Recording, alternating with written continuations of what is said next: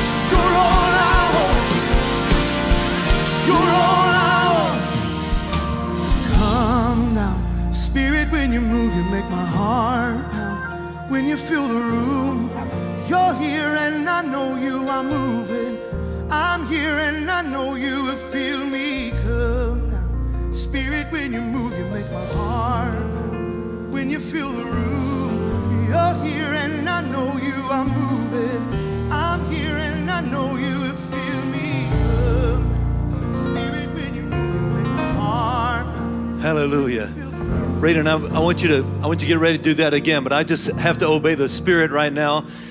You know what? When you raise your hands, that's in Hebrew you'll yadah, and it means to raise your hands and praise the Lord, but also means something else.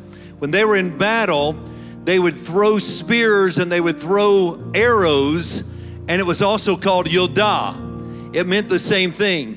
So the lifting of the hands in praise is not just a surrender, it's a battle sign.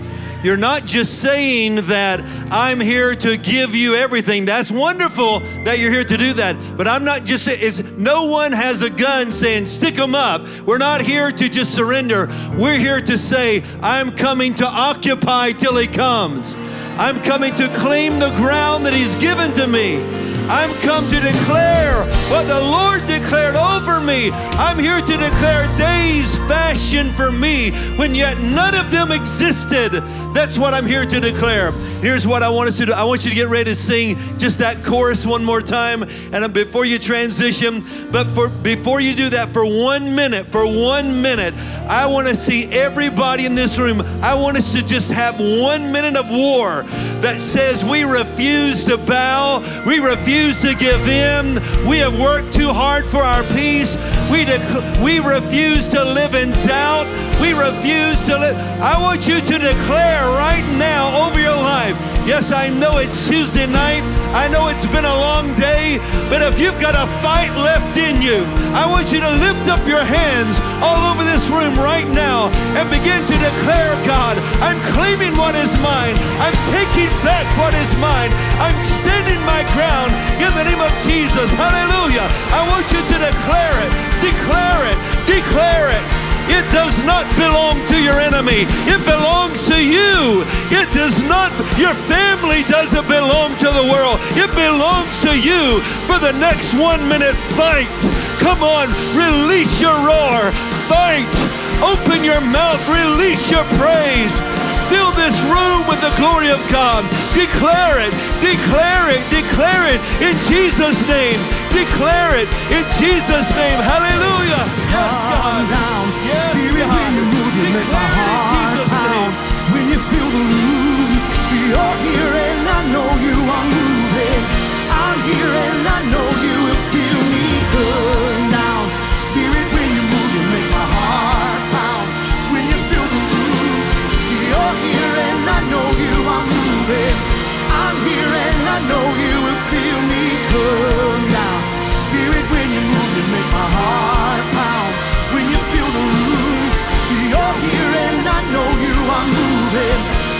here and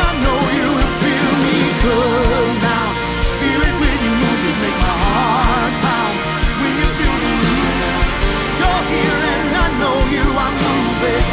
I'm here and I know you will feel me come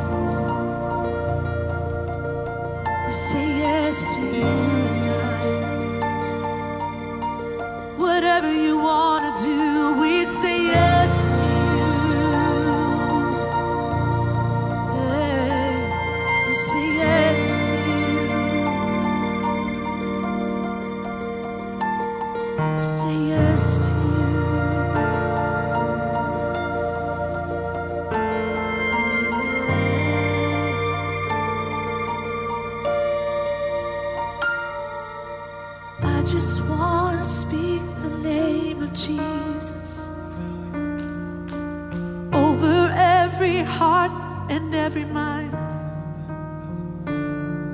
Because I know there's peace within his presence, I speak Jesus.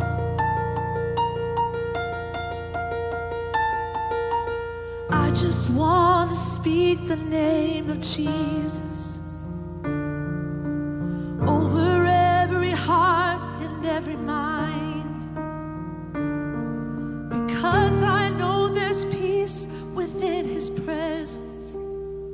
I speak Jesus.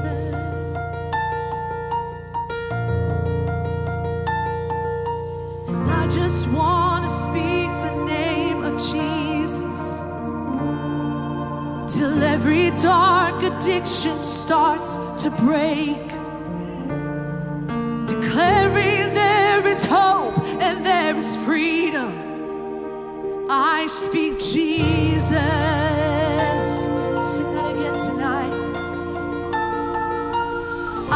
just want to speak the name of Jesus till every dark addiction starts to break.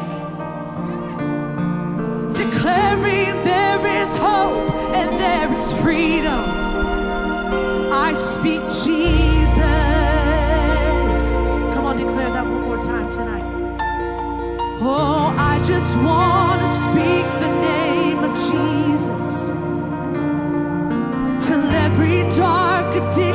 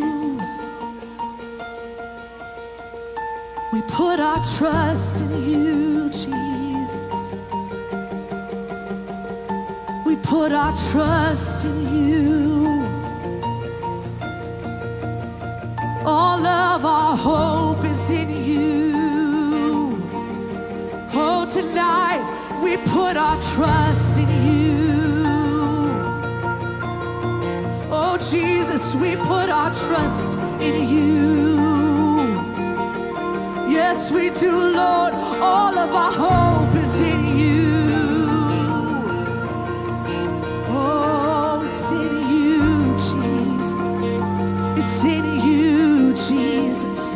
So we put our trust in you. Come on, sing that tonight. Oh, we put our trust in you. Yes, we do, Lord. We put our trust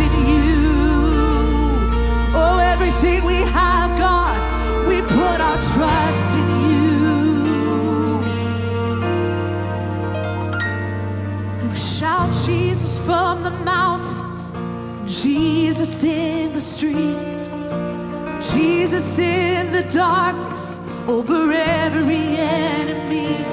Shout Jesus for my family.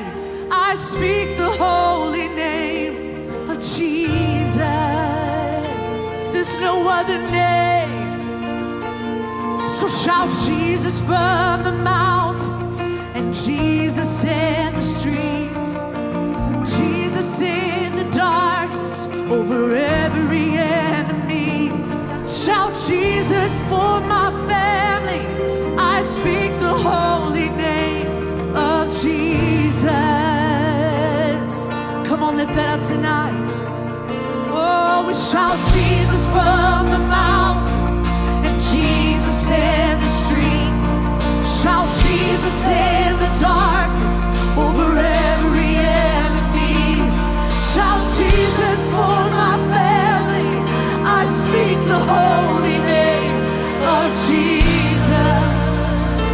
No other name by which we're saved.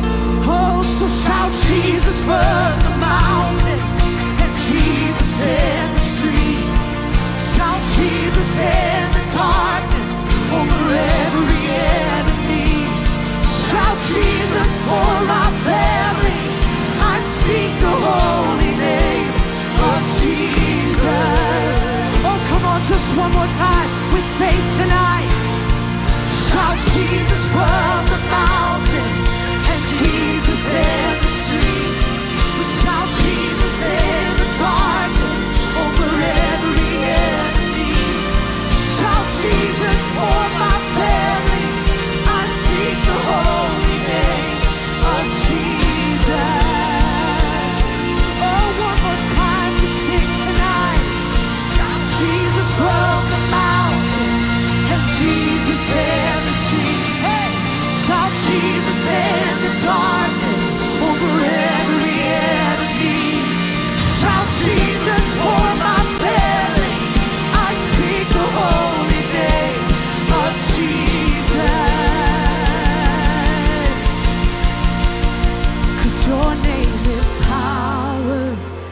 your name is healing. Your name is life. Break every stronghold,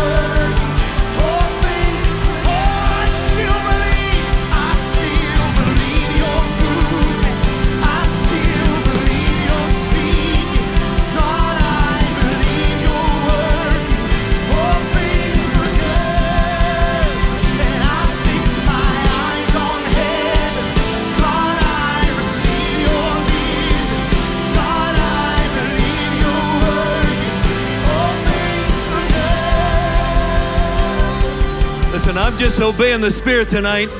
This morning, early in my prayer time, the Lord took me through a series of midnight hours where it looked like nothing was going to happen, but He came through anyway.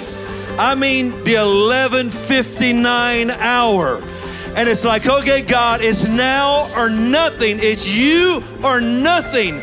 And what the Holy Spirit just spoke to me right this afternoon, Dean actually sent me a text and he said, This is a house of miracles. And when, when, when he began to sing, I didn't know you were going to sing that song. The Lord began to tell me all the things he's been saying to me all day long. So I'm going to give you an instruction. You don't have to do it. But if you do it, I'm telling you, God's going to take notice. If you do it. And this is all I'm saying. I want you to, first of all, ask big. Ask big. Stretch yourself, stretch your faith. Don't be afraid to ask God for something big. But here's the other thing, too. And this is the step of faith that you got to make. And I know, I know this is odd. It's not the altar call yet. But if you are one of those that says, I've got a miracle that I need in my life, here's what I want you to, I want you to bring it to Him. I'm not asking you for an offering. I'm not asking you for money, but I'm asking you to get out of your seat and walk to the front and surrender to God. That is just a step of faith. That is all it is. It is just a step of faith. As they sing this again, I want you to believe God for the impossible. Believe God for the ridiculous. Believe God for things that you cannot do. Only He can come through. Just keep coming. Just keep coming. Stretch yourself. Stretch yourself. Stretch yourself. Hallelujah. This is the midnight hour for somebody, but God is on time. God is an on time God. God is an on time God. Bring it to Him. Bring it to Him. Bring it to Him. Just keep coming. Just keep coming. Bring it to Him. Bring it to Him. Bring it to Him. Hallelujah. Yes. Hallelujah.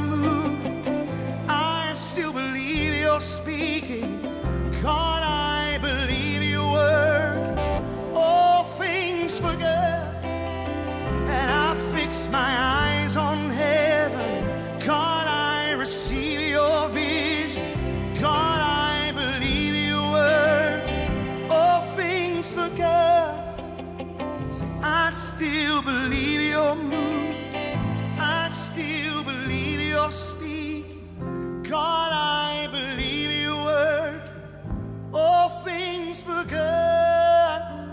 And I fix my eyes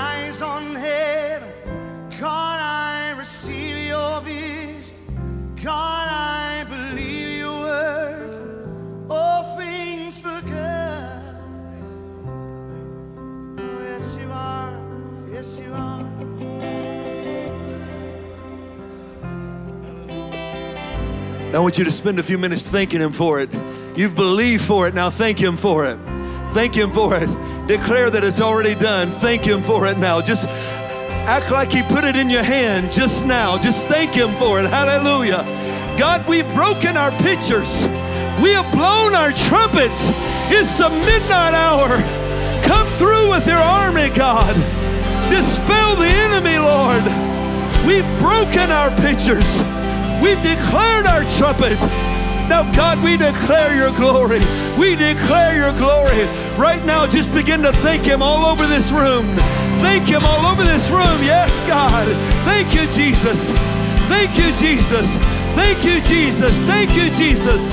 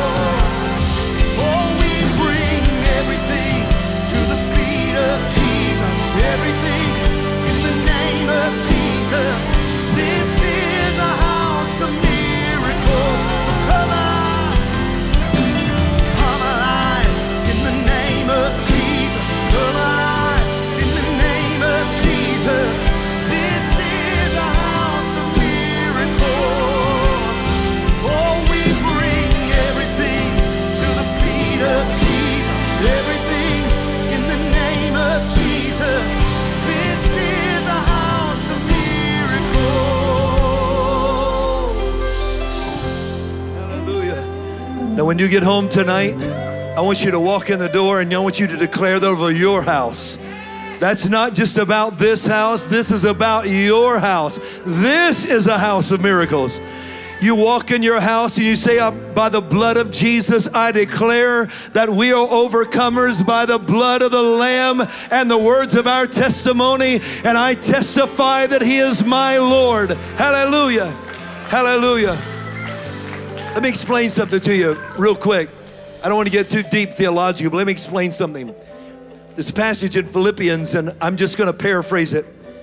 It's the passage that we quote all the time that says, Every knee shall bow every tongue shall confess that Jesus Christ is Lord. But the verse before that says, it tells you what tongues are going to do that. Every tongue in heaven, every tongue on the earth, and every tongue under the earth.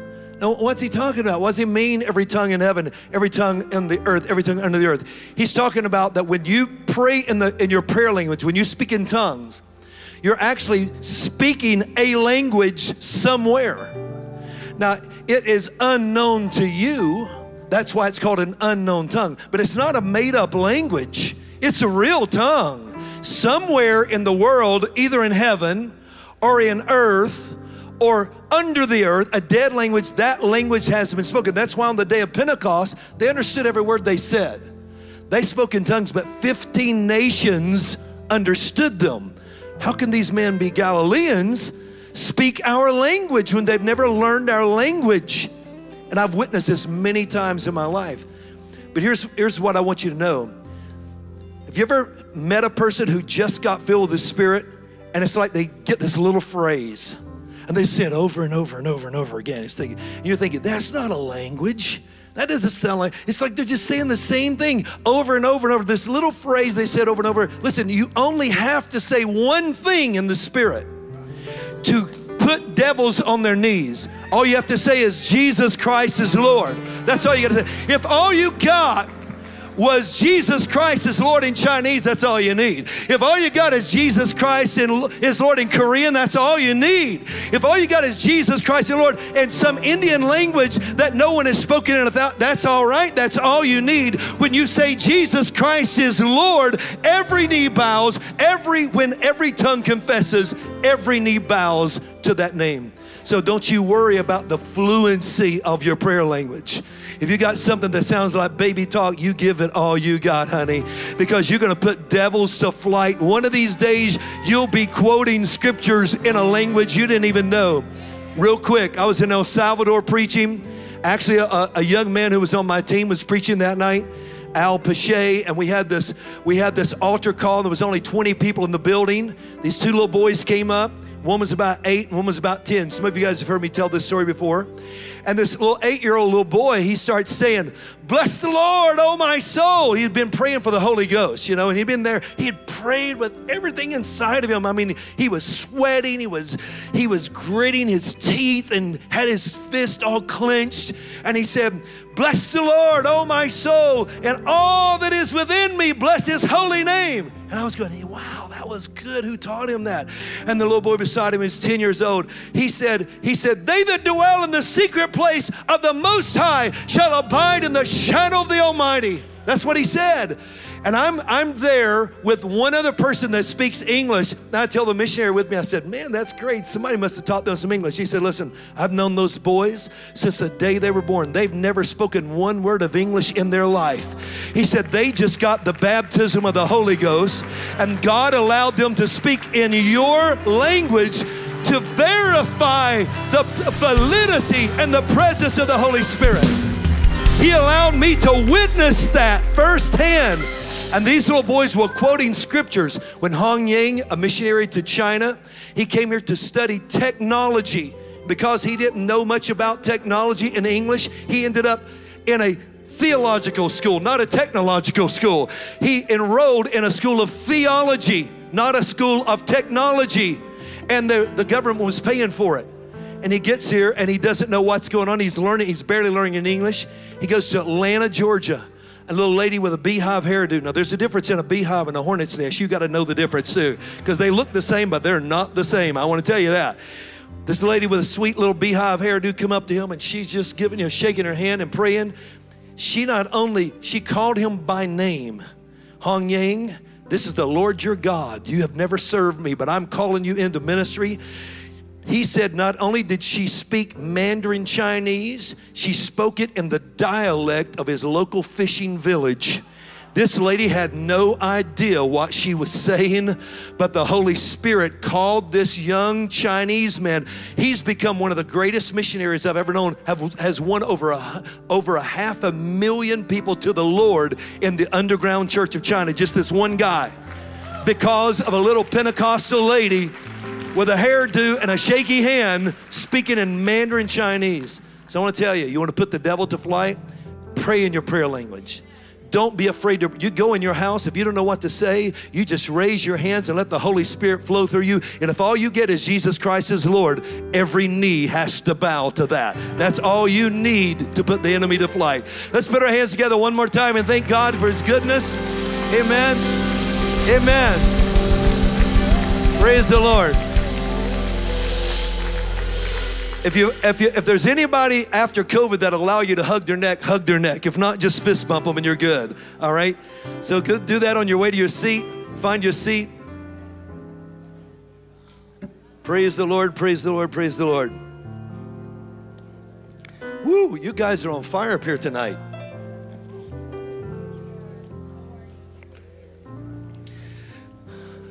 How many of you glad to be out on a Tuesday night? Well, that's about four of you. How about the rest of you guys? You glad to be here on a Tuesday night? There you go. You know, you've heard me say this before. The third day of the week, which is Tuesday night, is the only day of the week God blessed twice when He created the world. He everything else He said that was good. He said it twice only on Tuesday because it was the third day. So it's a it's the most popular day in Israel for people to actually get married because they say it's the most blessed day of the week. So I'm gonna be glad to be in God's house on the most blessed day of the week, right? Amen. By the way, it's great to be back from Israel. Faith and I missed you guys. We've been gone for the last couple of weeks. It's good to be home and it's good to be here. It's good to be back with you guys. Amen. Um, we are so honored tonight to have Tony Suarez with us. How many of you are happy to have him in the house tonight? I know that he has a great word. He's just come off of the, he's still on the road. He's been on the road for uh, several days, hasn't made it home yet, and flew in today. He started in Denver this morning, and then he got into Dallas, and we were nervous because it was snowing in Denver. And then when he got to Dallas, he got a flight delay, and we just kept, Yes, Jesus, get him here, get him here. Get, and he's here. Thank the Lord he's here. Not by the skin of his teeth, but he is here, and we're so happy about that. It's also great to have Pastor Andrew Tao in the house. Stand up, man. One of our favorite preachers around here. We love this guy one of our favorite preachers, and he's preached here a lot, and he will be back again a lot more because we absolutely love it when you bring the word. Um, let's talk about a couple things. First of all, let's look through the screens. We've got some exciting things going on, and uh, let's hear what the ladies have to tell us about. Hey guys, welcome to Ramp OCI. We are so excited to have you in the house tonight. It is going to be a special treat for tonight. Tony Suarez is here and he's going to be bringing a powerful message. Let's get to our announcements.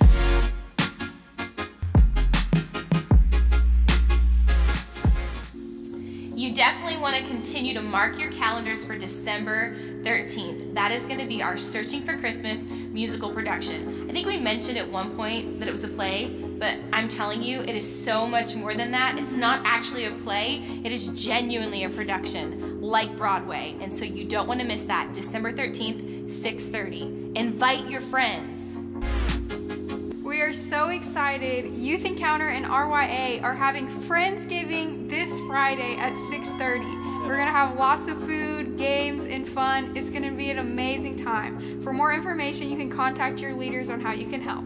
I love Friendsgivings. They're so awesome. Mm-hmm. Another day you want to mark your calendars for is December 20th. That is our Christmas banquet. We're going to have food. Mm-hmm. It's going to be so much fun. You're going to want to sign up for that in the Connect Lounge and you're going to tell us uh, your name, uh, your number, and then who's coming with you, how many people. We want to make sure that we're prepared to feed everyone for fun food fellowship.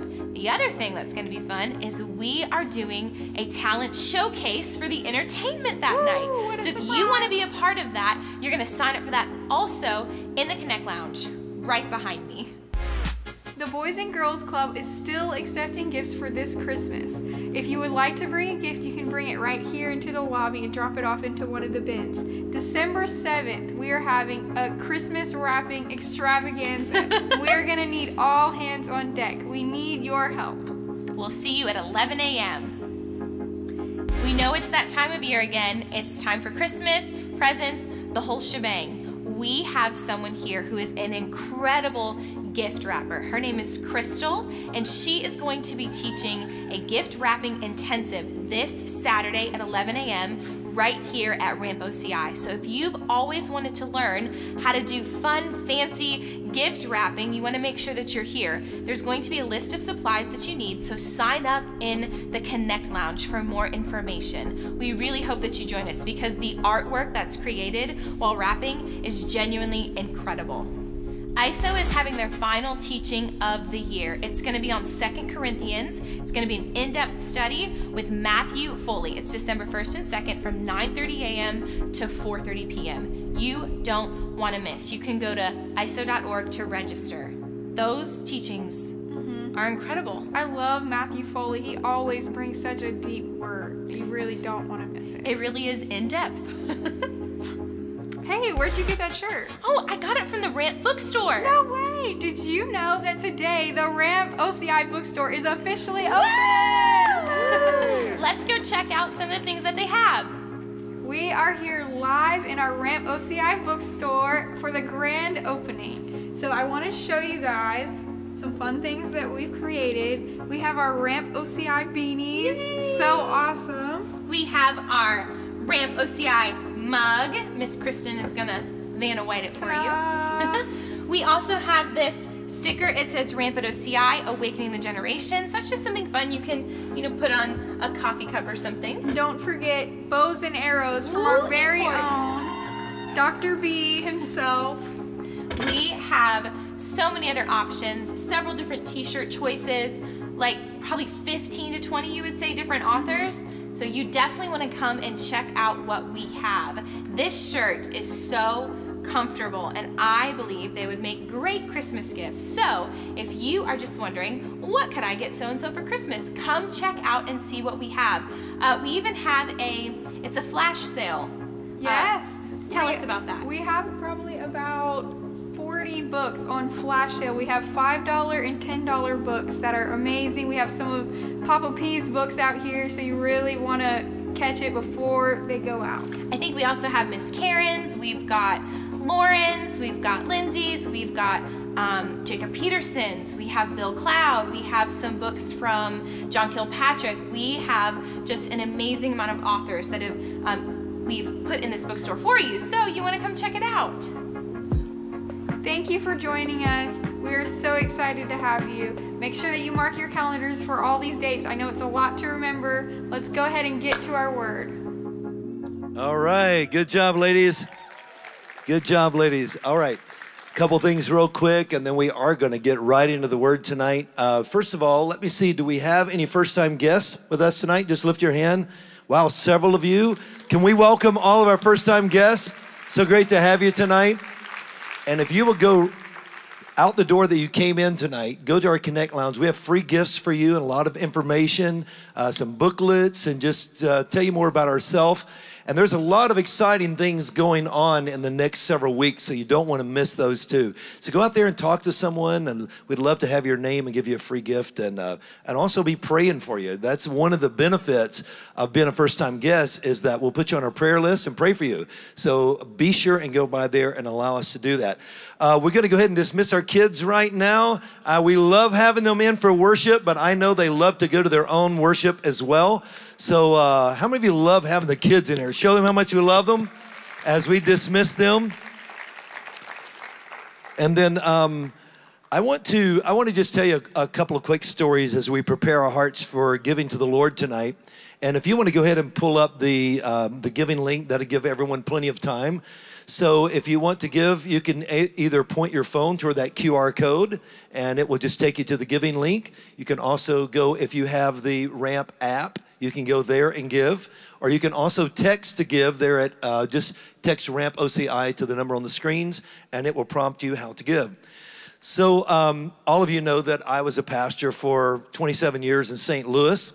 And when Faith and I first went there, you know, our church was very small. It was not called Twin Rivers then, it was called Webster Groves Church of God. And the Webster Groves Church of God was a lot different from Twin Rivers, I promise you. And uh, we had about 50 people when we first went there. We were young, you know, early 20s ourselves and just you know believe god for anything. And boy it's a good thing we did because we needed everything. Have anybody ever been there before? You can believe god for everything because that's exactly what you needed.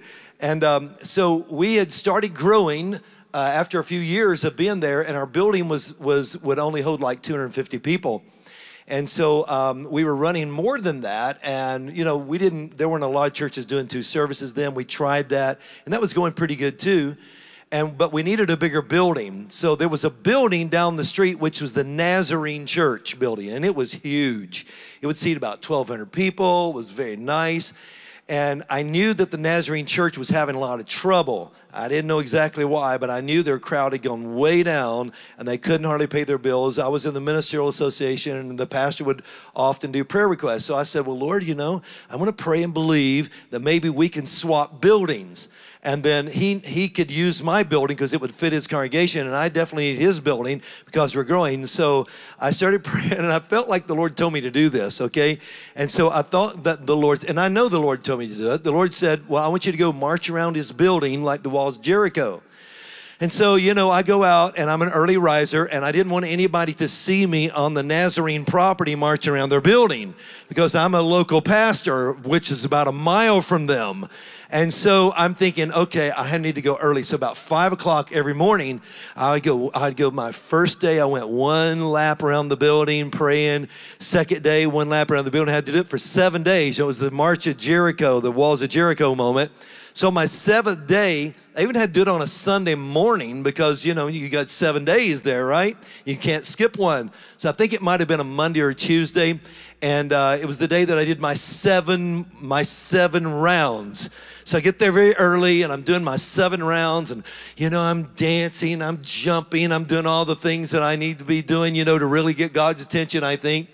And so when I finish all of this, I go seven seven rounds, and you have to shout, right? That's what you do on the seventh round. Shout, and God will give you the city. So I shouted. I didn't have a shofar in those days. I have one now, but I didn't have one then. So I just, you know, I just shouted and danced and jumped around, claiming that building. Boy, I was so excited. So I waited a while, and I'm thinking, I don't, I don't know, if, I don't know when to approach him. So I finally asked him to lunch. And so um, he, he and I met at a, a, restaurant there in Webster Groves, and I said, um, Les, I want to talk to you about something. You know, I've got a building, you got a building, we're a mile from each other. I said, what would you think about swapping buildings? And it was about a month uh, had gone by, and he said, um, I said, you know, you, have put in this prayer request many times at the Ministerial Association. And he said, Well, um, Brian, I'll, I'll be honest with you. If you would have come to me a month ago and asked me to do this, I was so desperate that I would have probably taken it to my board. But he said, We don't know what happened, but revival has broken out in our church. He said, We can't even explain it, but he said, People are coming back. Our offerings are going up. He said, Man, I wouldn't give up this building now for anything. He said, We can't even explain it, but something has happened. It's, and then he said, It's like the walls of Jericho have broken down. I'm thinking at a God, they're Nazarene. Come on, help me out here. No, I love the Nazarene. And so, um, and so I learned about obedience that way. And the Lord said, sometimes, you know, what you make happen for others, God will make happen for you. And the Lord taught me that principle. And so many years later, or not many years later, actually wasn't very long from them, we need we desperately needed a building. And uh, we had we had grown very fast in a short amount of time, and we just didn't have any money. And so um, we were, our building still had debt. We were paying off the. We just tried to pay down the mortgage and almost finished. So we had $10,000 in this little fund. And I said, okay, God, when, when you had me to go pray for Gills Church, you said, what I make happen for others, you'll make happen for me. And so you know what I need here, and we're desperate. So I have this $10,000, and I can't build a church in St. Louis, Missouri for $10,000, but I can build one in El Salvador for that. And so I took 37 builders down to El Salvador to San Jose and we built this church for a blind pastor who had been praying. He and his church had been praying because they had no money. that God would help them build a church. So we just show up, all the building material, all the labor, and we built them a whole church this blind pastor was walking around filling the walls and just crying and he was touching we even made him a pulpit out of you know out of lumber and he's filling the pulpit and he's just so grateful to have all that and so you know at the end i'm thinking okay lord you had me to march around the walls of jericho I made that happen for someone else. You said you'd make it happen for me. And now I've given away the only little bit of money we had. Now I've built a whole church, but we need a church. So I go back home and now I'm just trusting God because I've, I've obeyed. That's, that's the point I'm getting to. I've done two acts of obedience, and I would have done three or four or five if he if he asked me to. But I've done these two major acts of obedience, still trusting God for a miracle. Didn't know what to do, and one day my phone rang, another pastor across town came and we were right on the corner there big bend in, in, glendale road and it was a major thoroughfare there in webster groves. And so this pastor called. He said listen we need a new building and i want to come and make you an offer. Well i had already appraised our building. I knew what it was worth but i didn't know what he was going to offer so i was curious. And so he comes to my office and he said i'm going to bring a check if you if, if you accept my offer I, I, I want to give you this check. So this guy they had their money all laid out. He comes to my office hands me a check for three times what our building is worth. Three times what he didn't need a loan he had cash. Three times what anybody would have ever paid us for that building he gave it to me. And i said uh, I think my board's gonna be okay with this, but give me a week. Man, I called an emergency meeting and we sold that building right then and there because what you make happen for others, God will make happen for you. And we had no idea the journey we were gonna go on. We, had, we met in a school and we moved 18 times. And every time we moved, I said, Lord, why again? We moved 18 times in schools over about a four year period of time before we landed on the building that, that the Lord gave to us there in, uh, in uh, Afton or in Tesson Ferry Road. And we, we did that 18 times. And I asked the Lord, why are we moving? And then we figured it out. Every time we moved, we won people from that community to the Lord. It was like when we left that building, uh, we had about 400 people in our church. Okay, when we left that building, we only seated 250. And so we were running 400. When we left that building, went to the first school, we had 400. By the time we got in our building, we were already running over a thousand people. And we did that moving 18 times without a sign, without a without a business card. It was all word of mouth. And people didn't even know where we were going to be from week to week because we moved so many times. But I'll never forget the day one of the janitors walked out of the back and came to the altar. They were just there to open the building and clean up after us. And when I saw that happen, I'm thinking, okay, God, I know the importance of this journey. It's about obedience. We didn't get what we wanted exactly the way we wanted it, when we wanted it. But when God got through, He gave us so much more than we could have ever even imagined. So, obedience is better than sacrifice. So I want you tonight to give. Yes, we give because it's time to give. We give because we believe in tithes and offering. But I want you to give because you have no idea what God's about to do in your life. You have no idea what God is going to do for you. When we sing that song tonight, This is a House of Miracles, there was something released in my spirit. And I knew, I knew in my spirit that when people started walking to the front, that God was going to start releasing miracles for them. And I can't wait to hear the testimonies because I know they're coming in. I just know that. Some of you have been here many times when I said somebody's been healed, and please call me and tell me. And the next week I'll say, We got four calls. Exactly what God said He was going to do, He did. Remember the night I was preaching in the middle of the sermon, out of nowhere? I said, Oh my goodness, God's going to pay off somebody's debt. And of course, everybody claimed it.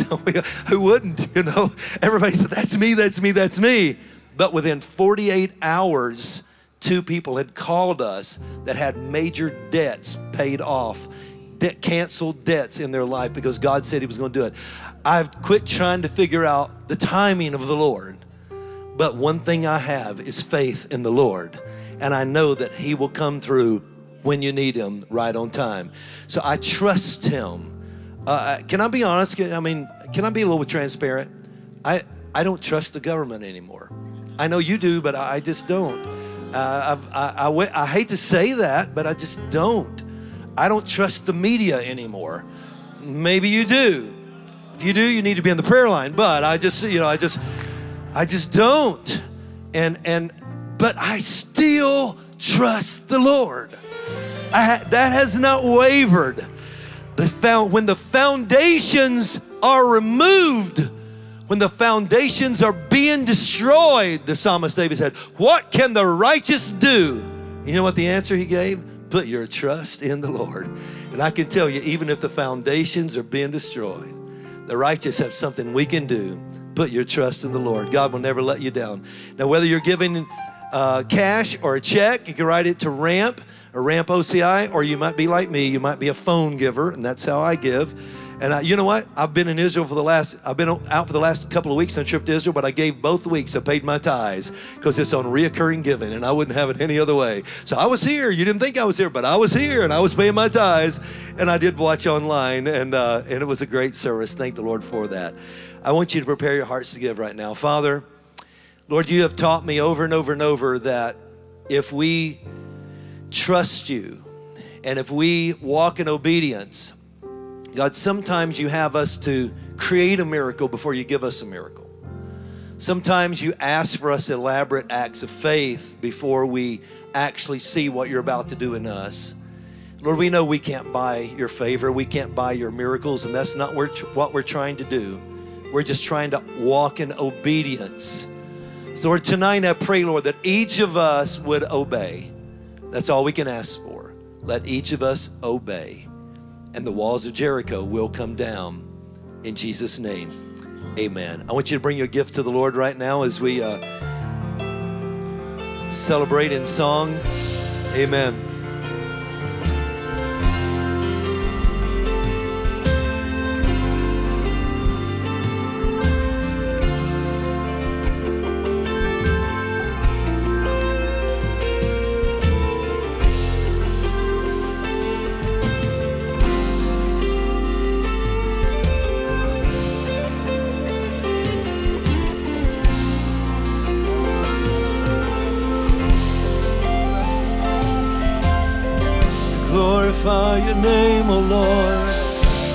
Bless you, Jesus. Oh, we bless your name, we bless your name. Hallelujah, hallelujah. Glory, hallelujah. We bless your name, we bless your name. Thank you, Jesus. Glorify you, Jesus. Honor you, Jesus. Bless your name, bless your name. Praise the Lord. Listen, we are so honored tonight to have an evangelist that God is using literally across this country. And I don't know how many of you have heard Tony Suarez preach, but after you hear him tonight, you'll want to hear him again. He has preached on TV, he's preached around in camp meetings. As a matter of fact, he was telling me about a huge tent that the Lord gave him, and he was even doing tent meetings. He set up a tent in the middle of COVID 4,000 people in Nashville coming out to a tent meeting in, during COVID. That's amazing. And the Lord has used him over and over and over. I want, I want to uh, belabor bringing him on because I know that he's got a word. Listen, this man of God started out in Denver, Colorado this morning. He flew into Dallas and then he flew into Chattanooga and he is here. He's had a long day of travel to get here. We are so thankful. He's been he's been on the road for several days. I know he's anxious to get home. He actually lives in Tennessee. Yes. He is lives in Johnson City, Tennessee. And you may not know where that is, but I know where that is because I was born just a few miles from there in Greeneville, Tennessee. So that's my old stomping ground, the Tri Cities area. So all, I still have relatives up there. If you go to Atlanta, if you go to any place, you can't find any Cutshaws. Go to Greeneville, Tennessee, and the phone book has pages of them. They're clannish, man. They just don't move. But a few of us got away. So praise the Lord. We are so thrilled. I know that I don't have to ask you to honor a man of God the way a man of God needs to be honored The Bible tells us to give honor to whom honor is due, and there's honor due this man of God. So I want you to welcome him properly as we would welcome a man that's carrying an anointed word tonight. Would you clap your hands and give God praise in this house for everything He's done and everything He's about to do?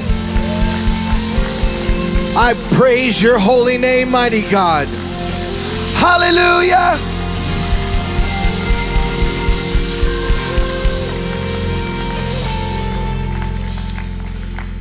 On Saturday night, I was in Roanoke, Virginia. Sunday morning, I was in Lexington, Kentucky. Sunday night, I was in somewhere outside of Atlanta, Georgia. Yesterday, I was in Denver. And now I'm back here in the Holy City. Hallelujah. God bless you all. Now I'm gonna go and, and somewhere in between there I stopped and got some new clothes and made sure that all of our kids were still living in the house and made sure my wife was still there waiting for me when I get home tonight at some point or tomorrow whenever I go home. But I heard a song. Now nobody asked me to sing except my mother. I love her. Nobody ever asked me to sing, but I heard a song. And when I find a song that really resonates with me, I wear that thing out. I can't listen to anything else. My wife grabbed my arm two days ago. She said, I'm going to give you to the end of the year to get that thing out of your system, which usually it's a few days. But I heard this song and it simply says, God made it fail. I've never heard it before. I don't know who wrote it. I don't know where it came from, but it's the song of my heart. And as I was sitting in this house, I think I've only said this maybe two or three times, and I know we're just meeting for the first time, and so I should just be like real cool. But I'm real weird. And I looked up, there's a portal to heaven somewhere around here. I've only seen it in like two other churches. And I looked up and I saw it written out. It said, This is the house that Pentecost built. That's what I saw written in this portal to heaven. This is the house that Pentecost built. And I want to sing, I, I, know it sounds so dumb, but I want to sing something over you today in the key of F. We, is that still F there? It simply says, God, God, God made it fail. God made it fail.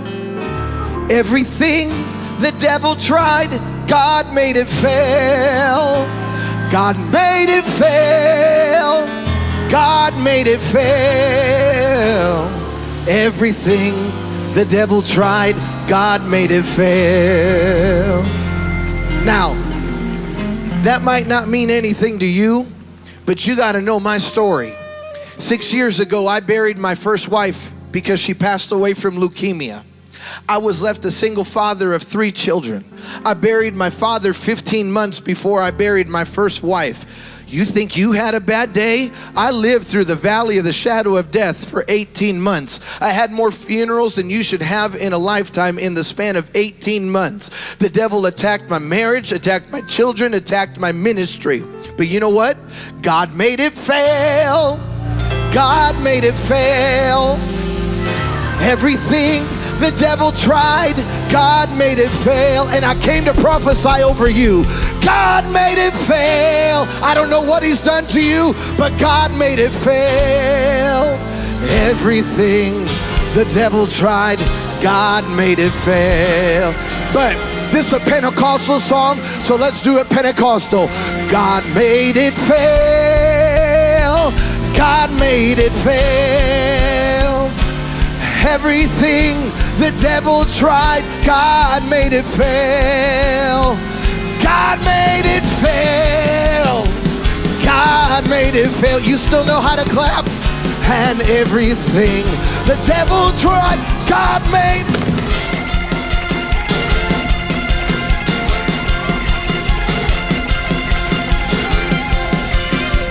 I'm gonna sing it over you till you believe it. God made it fail. God made it fail. Everything the devil tried, God made it fail. God made it fail. God made it fail. Everything the devil tried, God made it.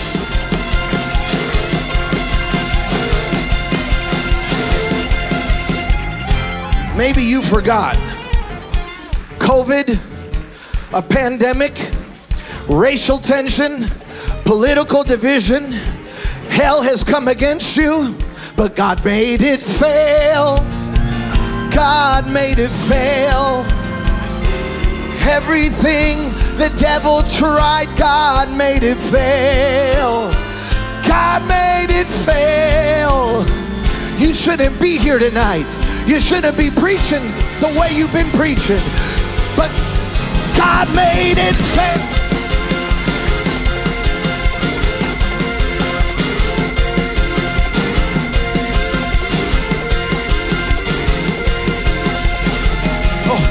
I just heard God speak to my spirit. I got a sermon to preach, but God said this is a breakthrough service for someone in this house. He said, if you'll praise me according to the level of breakthrough you need, this will be the night that I thwart the plans of the enemy. This is the night that I bring confusion into the corridors of hell. This is the night that I give you the victory. If you'll praise me tonight with a breakthrough praise, God said, I'll make everything, every lie lie, every attack. God made it fail. Everything the devil tried, God made it fail. God made it fail. Oh, I feel him here. Oh, and everything the devil tried, God made it Come on, just give him a wild praise tonight. A breakthrough praise from the front to the back, the left to the right. You watching at home, give him a God made it fail praise right now.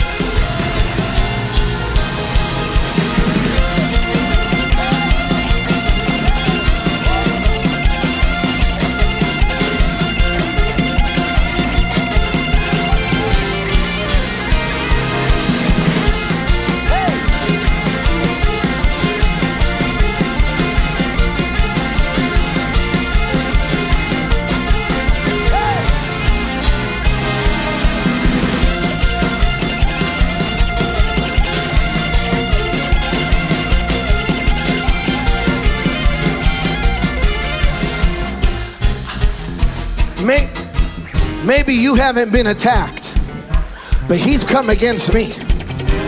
I got a boy at home who's had four dislocated knees in six months. I come home from seeing multitudes of people get healed to a 12 year old holding his knee saying, Daddy, I don't understand what's wrong with my knee and the devil attacks me at night. He says, You preach healing everywhere, but look at what I'm doing to your house. But I'm going home to Johnson City tonight to tell the devil, God made it fail. You attacked me too much. Everything the devil tried, God made it fail. God made it fail. God made it fail because my son's gonna be healed. Everything the devil tried, God made it.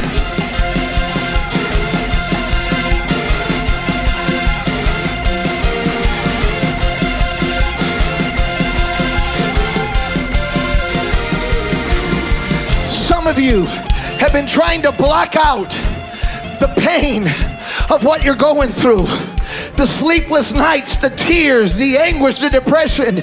And so you've just been trying to ignore it. Tonight, I tell you, get it in your mind right now. Think about how he attacked your children, how he attacked your marriage, how he attacked your money. And I want you to get angry at hell tonight. I want you to get angry at the devil tonight. And I want you to realize not only what you've been through, but look at the reality that not only have you been through it, you've come through it. And you're a living witness that no weapon formed against you, no weapon formed against you shall prosper. So I want you to get that memory. What should have killed you? what should have messed you up, what should have knocked you out. And with that memory, say, God made it fail. God made it fail. Everything the devil tried, God, I worship you. God made it fail. God made it fail. And everything the devil tried, God made it.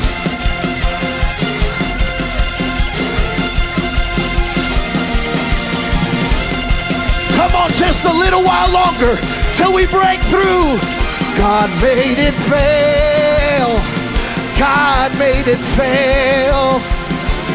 Everything the devil tried, God made it fail. God made it fail. God made it fail. And everything the devil tried, God made it fail.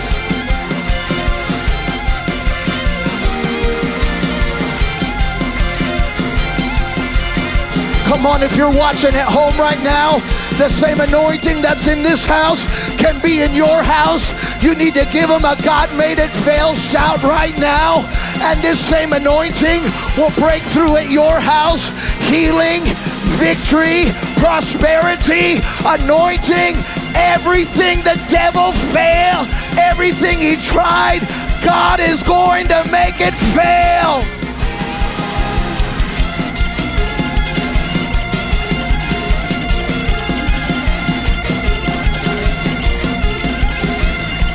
Give him a hand clap of praise in this house right now.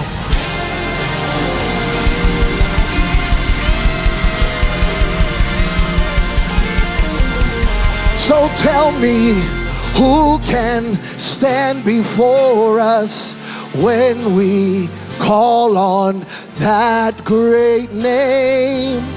Jesus, Jesus, precious Jesus, we have the victory. For five days, five days, I think I'm gonna preach here in a minute. But if I preach tonight, it'll only be the second time in five days I've actually been able to preach. Because there's a breakthrough anointing. America thought a red wave was coming this past week. I prophesied a week ago Saturday. What you think is a red wave won't be what you think it is. It's going to be a bloodbath, saith the Spirit of the Lord. For I'm going to cleanse the nation of its corruption. I'm going to cleanse the nation of its sin. And yea, I'll move through the Capitol. I'll move through the White House. But this is not a political thing. This is a spiritual thing. You're dealing with personalities, but I, the Lord, am dealing with principalities. And I'm declaring to you, we've broken through something.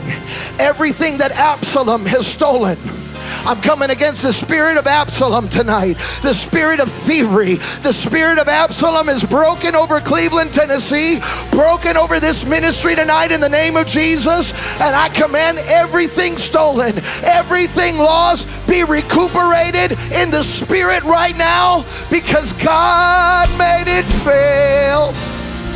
God made it fail. Everything the devil tried took my wife, took my dad, was a single dad, but God made it fail. Didn't know if my children would serve the Lord, but on her deathbed, my 10 year old son said, I need to talk to mom. And he got up by her deathbed and he said, Mom, I'm gonna make you proud. I'm gonna live for God. I'm gonna serve God. And if dad gives me permission, I'm gonna be baptized at your funeral. And that might sound fanatic to some of you, but at my wife's funeral, I buried her in the ground, but I buried my three children in the waters of baptism.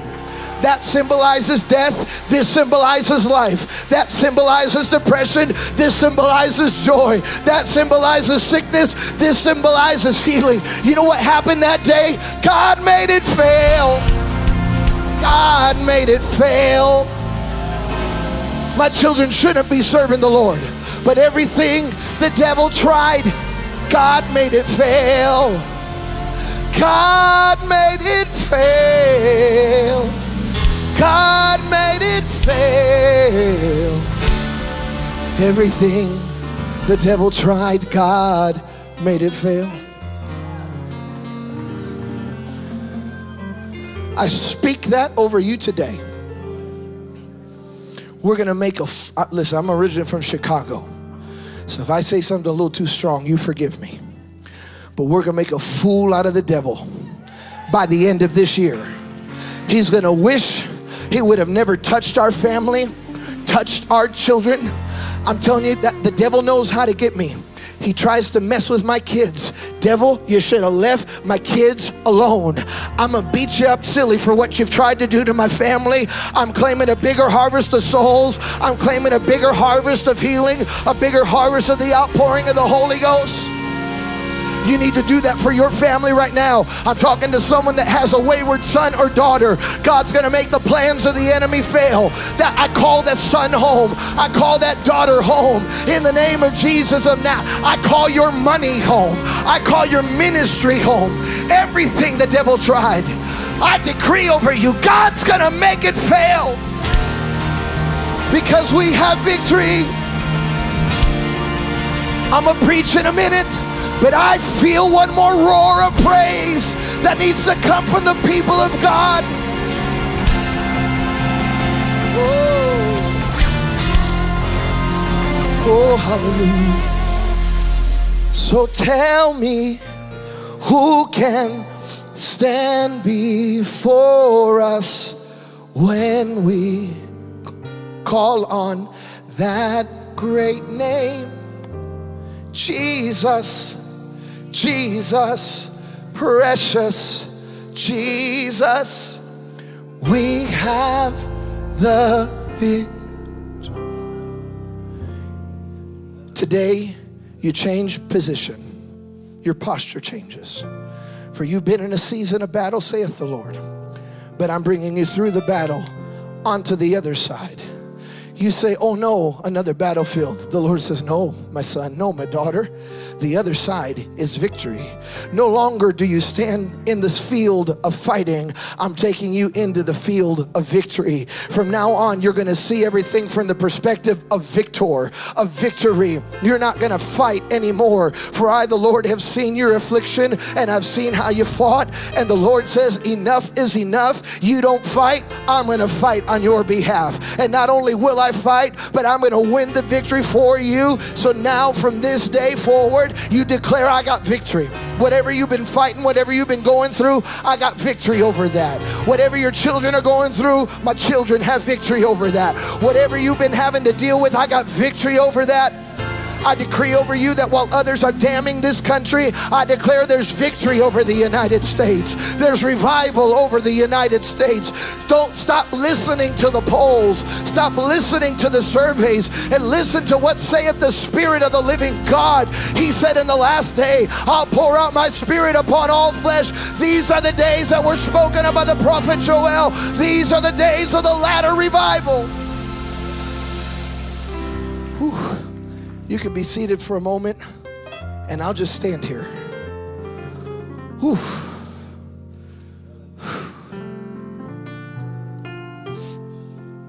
I can't get that song. I'm telling you, people on the airplanes are looking at me like I'm funny. When the flight, the only good thing that came out of the, the, the only good thing came out of a flight delay in Dallas was I got fajitas. Hallelujah. Glory to God. I'm sitting there eating my fajitas, minding my own business with my earphones in. Because I get that little Pentecostal jerk, you know, and I'm just, whew, I just went down right in the chair, and people are like, "Oh, are, are, you are you okay? Is the salsa too hot?" I'm like, "No, God made it fail. Glory to God." They're like, "The salsa." I'm like, "No, no, no. I don't have time to tell you everything that's failed. I'm a living witness." I know I should get off of here, but I'm a little insecure about my height after seeing Brother Cutshaw, you know, so I'm just trying to make up for two feet that I'm missing there, you know. God made it fail. I, didn't, I had no intention in telling my testimony tonight. Brother, uh, Pastor and, and, and First Lady Castillo are here from Miami. My friends have preached there. They've heard my story. They were with me through the valley of the shadow of death. They were with me when I had lost my first wife. They were with me when I was single. They were with me when, you know, because the Bible says it is not good for man to be alone. Hallelujah. And God brought Gina into my life. And when God brought Gina into my life, you know, because I'm like, I'm really churchy. And like, I didn't know how to date in my 40s. There was no social media. Someone said, I said, how do you meet people? You know, Pastor, T- Pastor Tao, I'm glad to meet you for two reasons. Number one, I've wanted to meet you. We've connected on social media. Number two, now I know how to pronounce your last name because I thought it was Toe. And when he said Tao is here, I'm like, oh my God, Pastor Tao and Pastor Toe are here. Then I find out it's the same person. My God, it's like the Godhead. Anyways. But there was no social media. So I'm asking my friends, how do you meet, like, how do you meet people? And they're like, oh, you got to slide in their DMs. I said, I can't slide in their DMs. I'm in, I'm in ministry. I, I got to live in holiness. I, I, I, can't. They're like, no, no, that just means send a message. I'm like, well, why don't you just say that? It sounded a little easier to say, send a message. Well, I sent a message to Gina. She's too pretty for me. But I said, I'm just gonna, you know, maybe God will make it fail. Maybe God will make it fail and she won't look at my picture. So we go on our date and I'm, you know, she shows up and she's, you know, looking all cute and stuff. Hey. I said, well, praise the Lord. Hallelujah. She's like, would you pray for the food? I'm like, sure. I'm like, Father, I take authority over every carbohydrate, over every calorie. God's gonna make it fail tonight. Everything the devil tried, every bit of cholesterol. I mean, I'm telling you, this is the way I am. It's a miracle I'm married. And uh, I told her my story, and then she started telling me her story. She buried her first husband, who had died of colon cancer, 10 years prior to her and I meeting. She had a five year old and a one year old at home when Corey died. I had a 10, 8, and 6 year old at home. And she started telling me about how God made a way for her and how God blessed her and how she was raising her children in the admonition of the Lord. And we have two people that have gone through the same fight one in Michigan, and I was living in Virginia at the time. And God saw fit to bring bring us together. You know, as Pentecostals, we can't drink. We're not supposed to. So we can't go to the bar. Not supposed to. So we do what we do. I went to camp meeting. Hallelujah. Amen. I go, I go sloppy drunk at camp meeting. And I'm at camp meeting, and Pastor Parsley calls me out 2017. He said, God said, ah, He's gonna return to you seven times. And just starts beating his head. Seven times what the enemy stole. Seven. And kept saying seven. And I might not be good at math, but I knew I wasn't gonna have any more babies in the name of Jesus. So I'm trying to figure out how we get to seven. Because there's me and my three. And then God sent Gina, Mylan, and Macy. And it was at the wedding when the word of prophecy came back to me, and I looked and I said, Oh my, there's seven people here. Seven broken people that have lived through the valley of the shadow of death. But God made us one whole, healthy, happy family. Now, I had no intention in telling that story tonight, except to tell someone tonight that feels broken that everything the devil tried is going to fail. You're going to laugh again. You're going to be joyful again. You're going to prosper again. And you're going to do it in the face of the enemy. And he's going to wish he would have never touched you. I claim to harvest against hell. You need to get mad enough tonight that you say, Devil, for what you did to my kid, that cost you a million dollars. For what you did to my marriage, that's going to cost you a hundred thousand souls. For what you did, I, I mean, do it to the point to hell says, you know what? Leave him alone because every time we hit him, we pay, we have to pay out more than what it cost us to go to war with that family in the first place. Fight him and make him pay until he says, just leave him alone. It's too expensive to touch the Cutshaws. It's too expensive to touch the Suarez. It's too expensive to touch the towels and the toes and everyone else that's connected to that family. In Jesus' name. It's so good to be with you all tonight. And uh, I got some product in the back. I don't really want to talk about this because I want to preach to you. There's three books. Uh, my new book just came out. Uh, it's called Revival Makers. God spoke a word to me last year. He said, Tell my people, I don't need revival chasers, I need revival makers. We've been chasing a move of God all over the world. We chased him to Azusa. Then we heard he was in Columbus and we all ran to Dominion. And then someone said, No, no, no, he's in Brownsville. So we all bought tickets and went to Brownsville. We ran out of money and found out he was in Toronto. So we had to ride a bus or a train and get up to Toronto. Passport expired and couldn't get back to the U.S. We've just been chasing the move of God everywhere. He said, Remind my people, they're Mark 16 believers. These signs follow them that believe. And so I believe this book will help you to become a revival maker in your family, in your society. What America needs tonight is not a third political party, it needs the third great awakening. What America needs is a church that identifies more with Jesus Christ than any other thing and would be a revival maker for this nation. So that's out there. There's a book I wrote called The Triumphant Church because I'm tired of people talking junk about the church. Listen, let me tell you something about polls.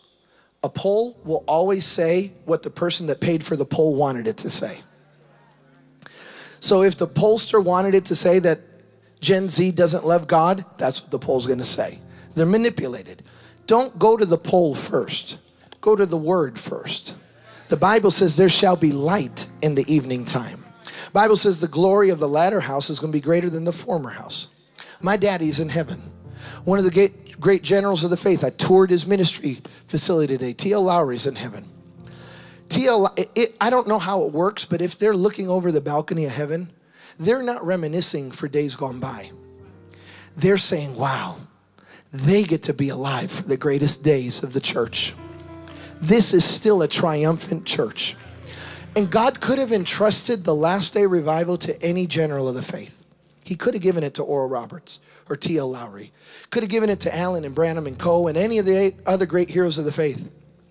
But he trusted you. Let that sink in tonight. God trusts you with this church. I'll never forget, I had old general of the faith named T.F. Tenney. We're doing a television program one day, and he looked at me. He said, Brother Tony, God trusts you with this church. Whoa, what? He said he trusts your generation. And that's why he let you be alive for such a time as this. There's another book out there that I wrote called Defeating the Spirit of Hyena. I really didn't come to pitch books, but they're out there and they do help feed starving children in Johnson City. Hallelujah. Glory God. So those are available out there. Thank you, Pastor, for welcoming me to your house.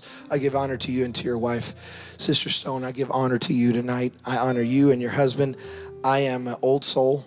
Um, I'm 42, but in my head, I'm like 84 and a half. And I was raised in Chicago. When I was four years old, uh, I'd put on a little suit, sit in front of the television, and watch PTL, and watch Jim Bakker and Jimmy Swaggart on Channel 38, Jerry Rose in Chicago. And I remember one time, the first time, I may have been eight or nine years old, the first time Perry Stone came on television in Chicago with Steve Munsey preaching about end time prophecy. I got so scared I was going to hell and I was going to miss the rapture at eight because I got my name on the board in the first grade. I'm like, oh God, I don't want to go to hell. I go home and Brother Stone's teaching. I don't, I, it, it was about, he was, I can, I have a weird memory. He was teaching, he was teaching about the beast and explaining out of some Jewish customs and mysticism and different things about how the beast could possibly be created. I didn't sleep for five nights without the lights on. I'm telling you, I thought I was going to hell. But I want you to know the legacy of Perry Stone, he scared me out of hell. Glory to God. How many can testify today? I'm going to mention something about that fear because that's one thing about my generation, Generation X, and of course, baby boomers and previous generations, there was a healthy fear of the coming of the Lord. And we knew He could come at any moment, so we were living ready. We need to get back to that. The book of Ephesians, chapter 5. Pastor, if I take too much time, please, it's your house. You're the elder. Just shut me up and I'll sit down and I'll just go back to singing God Made It Fail. Not about you shutting me down. I'm just saying I'll just sing it in general. Ephesians 5 15 through 18. I give honor to the Castillos that are here from Miami. They pastor a Holy Ghost filled, spirit filled, I mean, revival church. And listen, Pentecost is good in English. You ought to hear it in Spanish. you get that little bounce over there. We, I mean, we get like a violent Pentecostal helicopter. I mean, our hairs. I mean, you don't know. It's called rajatabla. And anyway, so you don't have to, we don't have time for that tonight. I just want to is different. Hallelujah. Ephesians 5 15 through 18. And I'm going to read from the New Living Translation, not because it's more spiritual than the others, it's just the one I understand. Hallelujah. The Bible says it this way Be careful how you live. Someone say, Don't get mad at the preacher. All right, because it's about to get rough here. Don't live like fools. I didn't say it, the Bible said it. Don't live like fools, but like those who are wise. And make the most of every opportunity in these evil days. Don't act thoughtlessly, but understand what the Lord wants you to do. Don't be drunk with wine because it'll ruin your life. But instead, now I'm going to go into King James. Be ye filled of the Holy Ghost. I'm going to preach for a few minutes tonight, filled and full. Father, use me for your glory tonight. Touch our ears to hear, our hearts to receive, and our minds to discern what thus saith the word of the Lord. I ask that you would confirm it with signs, miracles, and wonders so that when we leave this house, we'll say, Surely we have been in the presence of God. And I say, The house is ready in Jesus' name. And everybody said, My family um, knows that if you live in our house, anything you do, say, or might happen to you is at risk of being used in a sermon. My family are living parables. And if you slip and fall, I'm going to use it in a story about restoration. You get money, I'm going to use it in a story about, I, I will use anything. And so I want to open this by telling you a story about something that happened to my wife and I. We're, we're evangelists, we travel full time. And so when I get home, I'm home. And I had been gone, kind of like on this trip, I had been gone several days in a row, five, six, seven days in a row, I think, on that particular trip. And one of the things that my wife and I like to do when I'm home is after we get the kids to school, we get lost. No GPS, no map. We, we have a little little convertible. We get in the car and we just go get lost in the mountains and just see where we end up. We like to go antiquing. We just like ending up in these little towns all up in the mountains and you just never know what you're going to find. And, and, and so we just drive all over. And so she called me and she said, Babe, she said, listen, I'm going to pick you up. You don't even need to come home. I'm going to pick you up from the airport. Just throw your bag in the trunk and let's just go. I said, all right. And so I get there, and she's already got the top down. She's got her sunglasses on, and she got the. My wife is real classy. She got the little scarf, and I think she turned. There was no wind, but she turned on the air conditioning really. Hot, I mean, just so that everything be blowing in the wind. I mean, she looked like a movie star in the car, and I mean, no wind anywhere, but in the convertible, there was just a wind blowing on my wife. And uh, I am very churchy, not 2022 churchy. I'm like 1989 churchy, okay? In my head, there's still hymnals, it's camp meeting, and we're all wearing white dress shirts with red ties and suspenders, and you women still have your hair stacked up to your glory to God. I'm just, I'm churchy. It's camp meeting in my head all the time. If, if, if, I ever get invited to, to do one of those end time conferences, I'll mess up your theology. I don't think Gabriel's going to sound the trumpet. I think Gabriel plays the organ in heaven. I don't think John the Revelator got it right. I think he pushed the button on the Leslie and it went. And John thought it was the trumpet because they're Pentecostal up there. I tell you, I mess up your theology tonight. So I always got organs and tambourines and hand clapping and toe tapping in my head, and I got it on my phone too. Well, not only am I Pentecostal, my car is Pentecostal. And so when my iPhone connects to my car, my car starts, God made it. And so I was getting close to the car and it connected to my phone. And it started playing an old Southern gospel song that most of you aren't even gonna know. But I mean, apparently my wife didn't know that the volume was all the way up. And so I'm getting close to the car and it just starts blaring at the Johnson City uh, at the Johnson City airport. Let's have a revival from the pulpit to the pew. Let's have it. And I just went right into that Church of God and Prophecy hop right there. That two hop right there. I mean, I'm just because I it it'll come on me anywhere. She doesn't like going shopping with me because I mean it'll I'll I'll catch it. I'll catch the ghost anywhere. And I caught it getting close to the car. And I, I listen. You, we, we've only known each other about 15 minutes. I'm this way all the time. I, I'm not faking. Like I'm getting close to the car. I, I don't care. I start hopping. People smoke in front of me. People cuss in front of me. Why don't I hop in front of them? So I start hopping. She's like, "Would you stop?" She's like, turn that stuff off. can you turn on something a little more romantic? And I'm like, like, like, like, like hill songs? I mean, like, what, what are you looking for exactly? I mean, I don't know. I'm like, oh, you want your worldly filth. I'm like, she, she wants Sinatra. I'm like, man, I'm like, woman, that was the song of the devil in the 40s. But she said, just something a little more romantic. So she, you know, fly me to the moon. I'm like, baby, I don't fly to the moon. I serve the sun. Glory to God. So it's a miracle I'm married. I'm telling you right now, I don't know. I don't know how she, I know how God made it feel. Anyways, we get in the car. And so, you know, humor the wife. You want to stay married. So she's got her worldly music playing and, you know, the devil's dancing in the car. And we got, you know, I mean, I'm joking. I'm halfway joking. I mean, it's, nothing bad. Well, we're just driving and she says, hey, babe, do we got gas in the car? I said, babe, it's 20. I mean, I think it was 20, and I don't know what year, 2021, 2022. I'm like, babe, really? I'm like, if we run out, it's gonna ping, beep, and we know to stop and get gas. I'm like, don't worry. I never bothered to look at the gas gauge. I just took off driving, and this time we went into the Blue Ridge Mountains in North Carolina. Beautiful, beautiful mountains. And I mean, there literally is a Blue Ridge over the mountains. It's beautiful. And so we're up, lost in the Blue Ridge Mountains, driving around, when all of a sudden I hear beep, 20 miles till empty. I said, see, babe, I told, security's coming. I promise I didn't do anything. Oh, that's just the worship uh, team. I'm sorry.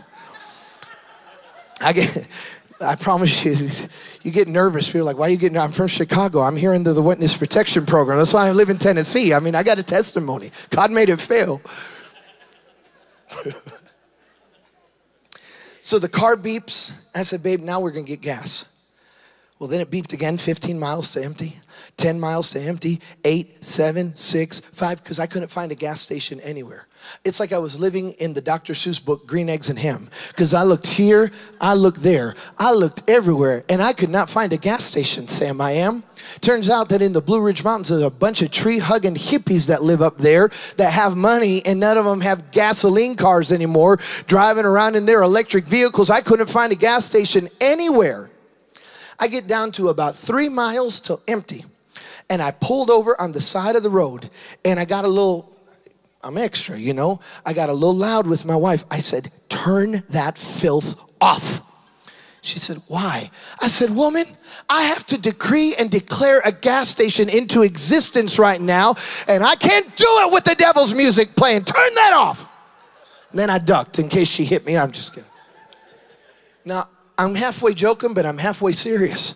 I started praying. I said, Lord, in the name of Jesus, I declare a gas station's coming around that side of the hill. Either it's going to be created or it's going to be restored. But I decree that gas station, and as far as I'm concerned, I spoke that thing into existence because just beyond the thicket, I saw a little two pump mobile gas station. And I pulled in there, and this old man comes up putting, putting his suspenders on, had big old blue baggy jeans and a white ripped up t-shirt, put, putting his suspenders on. What can I do you for? I said, I'm here for gas. You are? It's like, I'm like, who else is in the witness protection program, my man? I mean, why is it surprised you came to gas station for gas? He had to flip a switch on the pump and that thing just started. And if you can't tell, I can't stand still, ever. So I'm pacing in front of the car. I didn't even know the God Made It Fail song yet, but that's really what was happening in my head. I'm like, everything I'm just pacing in front of the car. I got to thinking about my dad. And I looked at Gina in the car. I said, Gina, you know who this would have never happened to? Because I realized I had an audience of one. I could preach to that lady now. I'm like, Ooh, she can't leave this service. I'm like, you know who this would have never happened to? This would have never happened to my father. Because my father would not have driven away without checking the gas tank. My father would not, my dad came from the country of Colombia, third world country, lived on dirt floors with outhouses. Whatever you think broke is, my dad was broke on steroids. He was the second oldest of 13 they had absolutely nothing. He came to the United States 1979, got a job at a bank shoveling snow for $2 an hour in Chicago. And one day the bank president showed up at 4:30 in the morning. My dad was out there shoveling the snow and he was impressed by how my dad shoveled the snow. So he said, "You don't work outside anymore. You work inside." And gave him a raise. Now he was making a hefty $4 an hour. Before my father retired from the bank to go into full time ministry, that man that came from a third world country was the vice president of that bank. And what, but what my dad taught us with all of that is that that's what hard work will do. My dad, if you won a piano recital, if you won a trophy at a piano recital, but you didn't practice, my dad wouldn't celebrate the trophy. He wanted to know how hard did you work for it? Did you put the time into it? Did you put the energy and the effort? That's just the way my dad was. And my dad would not live sloppy. We would go on road trips with my father, and uh, this is in the 80s before you had GPS and maps. Some of you fancy people that had AAA, you'd at least go and get the, the map and it had the yellow highlighter. We didn't have the yellow highlighter. We had the, yeah, we're going to go this way. And my dad would stop all the time to just top off the gas tank. And one day I asked my dad, Why do you do that? Why do we got to stop at every gas station? And my dad could never stop being a preacher. He didn't know how. I mean, he was a preacher all day long. I can still see that finger come out. I said, Why do we got to stop all the time? And he turned around, Because you don't know when the next gas station will appear. You don't know if it's going to be open. You don't know what's gonna, I mean, he was just altar call all the time. You don't know. And he'd say, You gotta live ready for what might happen. And I'm telling Gina this story while the pump is pumping. I said, That's the difference between that generation and this generation. We have become experts at living on E if your car gets to E, I'm telling you, 75% of this crowd right now, when your car gets to E and it says you need gas, you say, not yet. I still got a good 12 miles left before I got to get gas. It's not till that needle starts a shaking and tickling the bottom line of the E, then I got to get gas. We have become experts at living on empty and what's done in the natural is also done in the spiritual. And that's what's wrong with the Pentecostal church. We used to be full of the Holy Ghost, full of prayer, full of consecration, but we're empty, we're void, and we're living off of the fumes of our mother's prayer life and our prayers, our father's prayer life. We're living off of the fumes of what a previous generation did. And I'm here to tell you in Jesus' name, ladies and gentlemen, you can't afford to be on empty right now. You can't afford to be living on fumes. We're too close to the coming of the Lord. And I don't want to find you broken down on the side of the road. I come as God's messenger to tell you, you better get right, you better get ready, and you better be full of the Holy Ghost because Jesus is coming again. Give him praise in this house.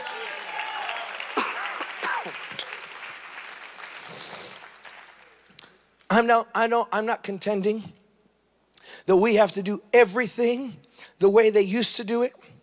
We used to have to be in church two or three times on a Sunday, and then back again for midweek, and then back again for choir, and then back again for youth service, and then back again for Saturday service. The only hope you had to backside was Monday, and nobody sins on a Monday. But we went from one exaggeration, no, I don't want to call it an exaggeration. We went from one extreme to another.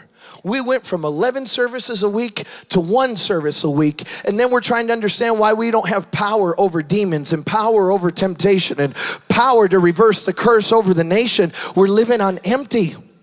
We're living on empty. We're not full the way we used to be. But Ephesians says you got to be careful how you live in these evil days. These are evil days, ladies and gentlemen, and you can't afford to not be prayed up. You can't afford to not be in the Word. Let me encourage you today from this day forward, before you check your email in the morning, before you check to see if anybody liked what you posted last night on Instagram, before you go see what Elon Musk is tweeting today, before you talk to your spouse, get in the word first and find out what thus saith the Lord. Because this is what's happening. We're going to CNN and Fox and social media first, and they're putting us in the pit and then we go to the word and the word's having to pull us out of the pit but if you go to the word first everything else will be funneled through what thus saith the lord and so when the enemy tries to pull you down you say nope I already got a word from the Lord. God's going to make that fail. Uh, no, I already heard about that. God's going to make everything the devil tried. You got to get in the word, get full of the word. These elections happen, and everybody's upset at Gen Z or whatever it is for how they voted. And, and, and, and you're piling on them. Who's it's not their fault. I got to take, if my kids do wrong, I got to take responsibility as a parent. We took Sunday school out of our churches. We took memory verses out of our churches. We stopped teaching the word the way it was taught to us. We gave, I'm not talking about this church. Maybe you didn't do it here, but for the audience watching around the world right now, stop sending your children to another room, giving them popcorn and a movie while you're in the presence of God and then wondering why they don't know how to shout, they don't know how to clap, they don't know how to prophesy, and they don't have authority. I am the way I am because my mom and dad had me in a Pentecostal altar and made sure I prayed through every week. There are devils that our children are fighting today that are nothing like what we had to fight in the 70s, 80s, and 90s. And you can't beat these devils on an empty prayer life. Teach your children how to tap into the presence of God. You can't live on empty. I'm just there preaching to Gina. I said that was the difference. That's where the holiness movement came out of, of which I come from. Those holiness people were so full of love for their God that they'd say, whatever it takes to draw closer to you, Lord. That's what I'll be willing to do. I remember that song when I was a kid. I told you I'm an old soul. There was a verse in there Take my houses and land, change my dreams and my plans, for I'm laying my whole life in your hands. There was other songs we used to sing back in those days. Above all else, I must be saved. And whatever you have to do to me, don't let me be lost for eternity. I used to get so scared singing that as a teenager. I'm like, God, don't kill me. Please don't kill me. You get to that line, whatever you got to do. I remember backsliding doing dumb things when I was a kid, and my dad pray outside of my room. He'd get outside of the door, and I could I, I knew my dad was on his knees, and I could hear him hitting the door. Go to sleep. And at the same time, he's hitting the door. Oh, God, save Tony. Oh, God, save Tony. God, whatever you got to do to him, save him. God, if you got to take him, do it. And I'm under the blanket. I'm like, God, don't kill me, please. God, let me live.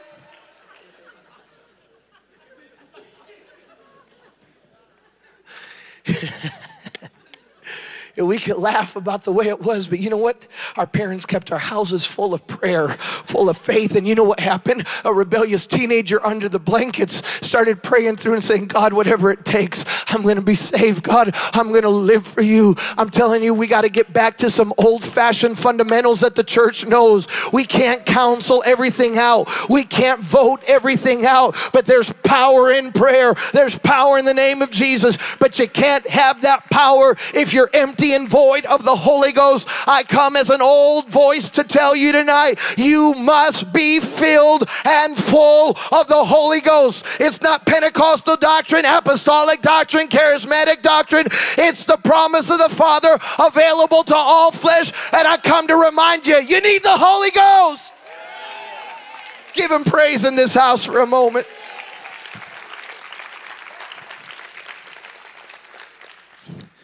Says, be careful. Am I okay, Pastor? Be careful how you live. Don't live foolish, foolishly. Don't be drunk with wine. Maybe I shouldn't do it here, but I'm, if I'm wrong, I'm wrong. I got too many friends that open a gateway called alcohol. There are places they don't want to be because they open a door. The Lord spoke to my heart at the beginning of the year. He said, I gave my people the new wine and they still want to partake of the old wine. The old wine that, lead, that leads to death and destruction, but the new wine gives them joy and gives them glory. Why are we still partaking? I'm telling you, there's nothing good that comes from it. Now, if I'm wrong, I'm wrong, but you take it to the Lord and see what He tells you. But I'm telling you, this is still a holiness church the world's systems have failed. Everything has failed.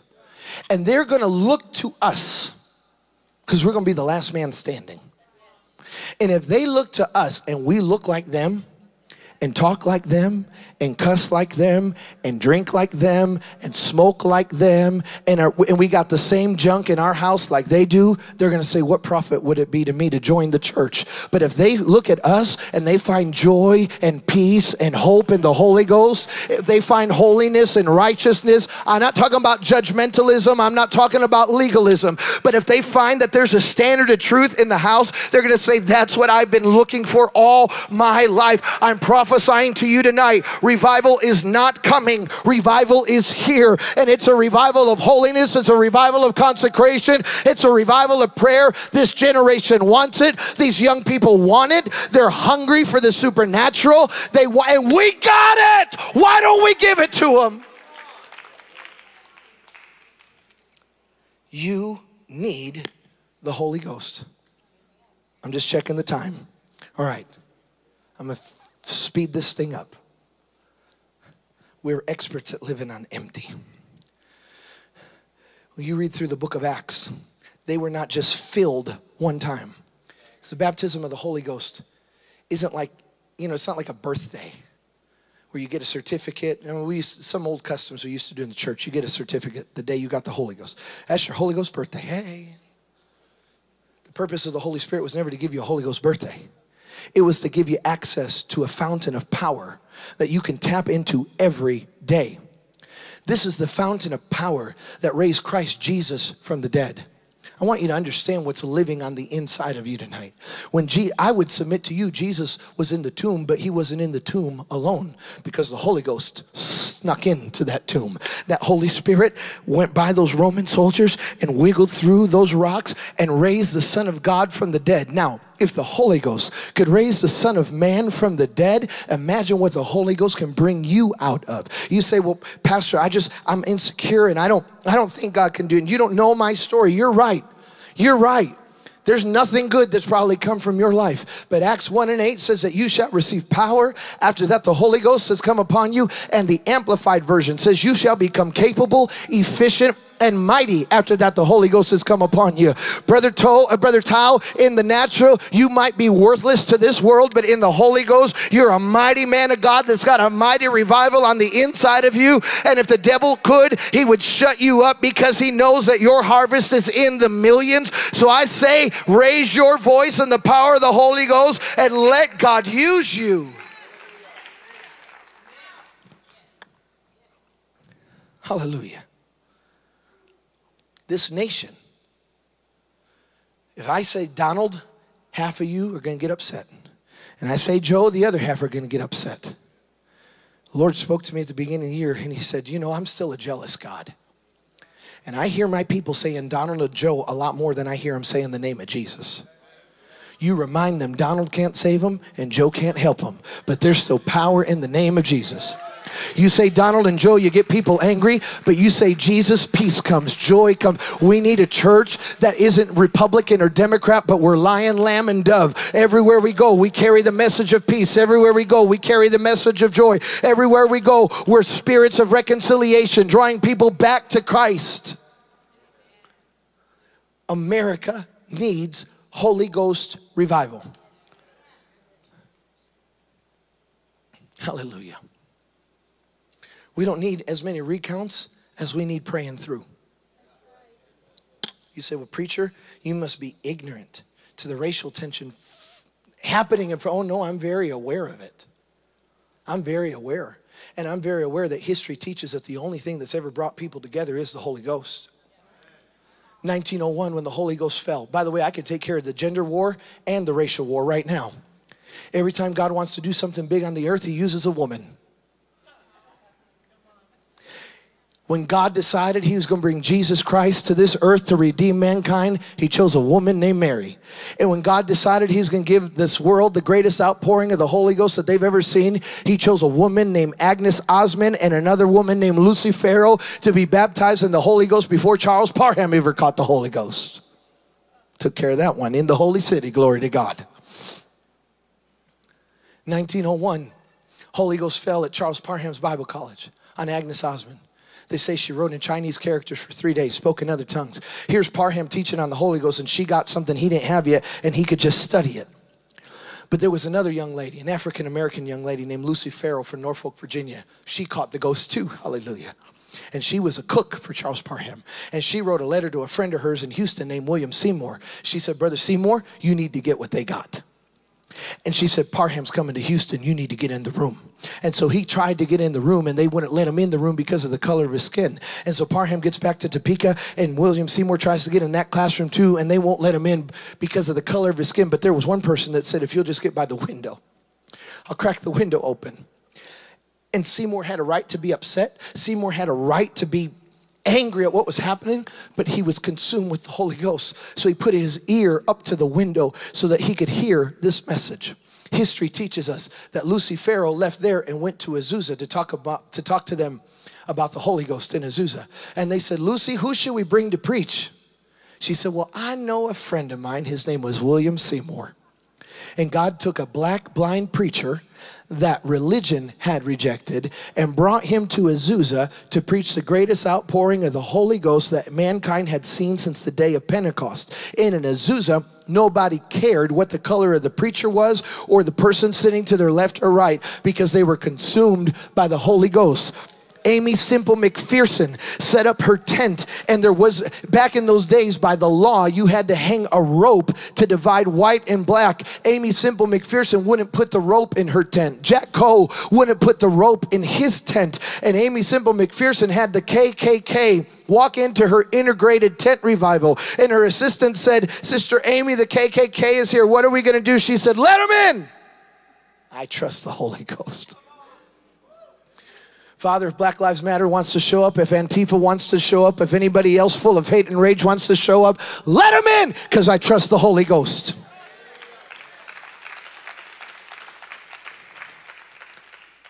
History says that those KKK members walked in and the power of God touched them and they walked up to an altar and they took their hoods off and they repented before God. They repented to their fellow man and that night they got saved and got full of the Holy Ghost. That happened in Aimee Semple McPherson's tent. That happened in A.A. Allen's tent. That happened in Jack Coe's tent. That happened everywhere that the Spirit of the Holy Ghost was preached and prophesied and demonstrated. And yes, every move of God divided because they got political and they got full of the things of the flesh. But as long as their focus was the Holy Ghost, people could worship together. People could go to church together. What America needs right now is a good old fashioned praying through until we're full of the Holy Ghost and we stop checking your voter card and we stop checking what race you are and we say, listen, all I care is that we're here under the fountain of the Holy Ghost. All I care about is the presence of God. What America needs is an old fashioned outpouring of the Holy Ghost. And God says, if my people, which are called by my name, will humble themselves and pray and turn from their wicked ways, if they'll call on me, I will send my spirit. We need the Holy Ghost. Musicians come just so that someone will have faith that I'm done. Someone said, My God, I thought he was going to go another 20 minutes, but God made it fail.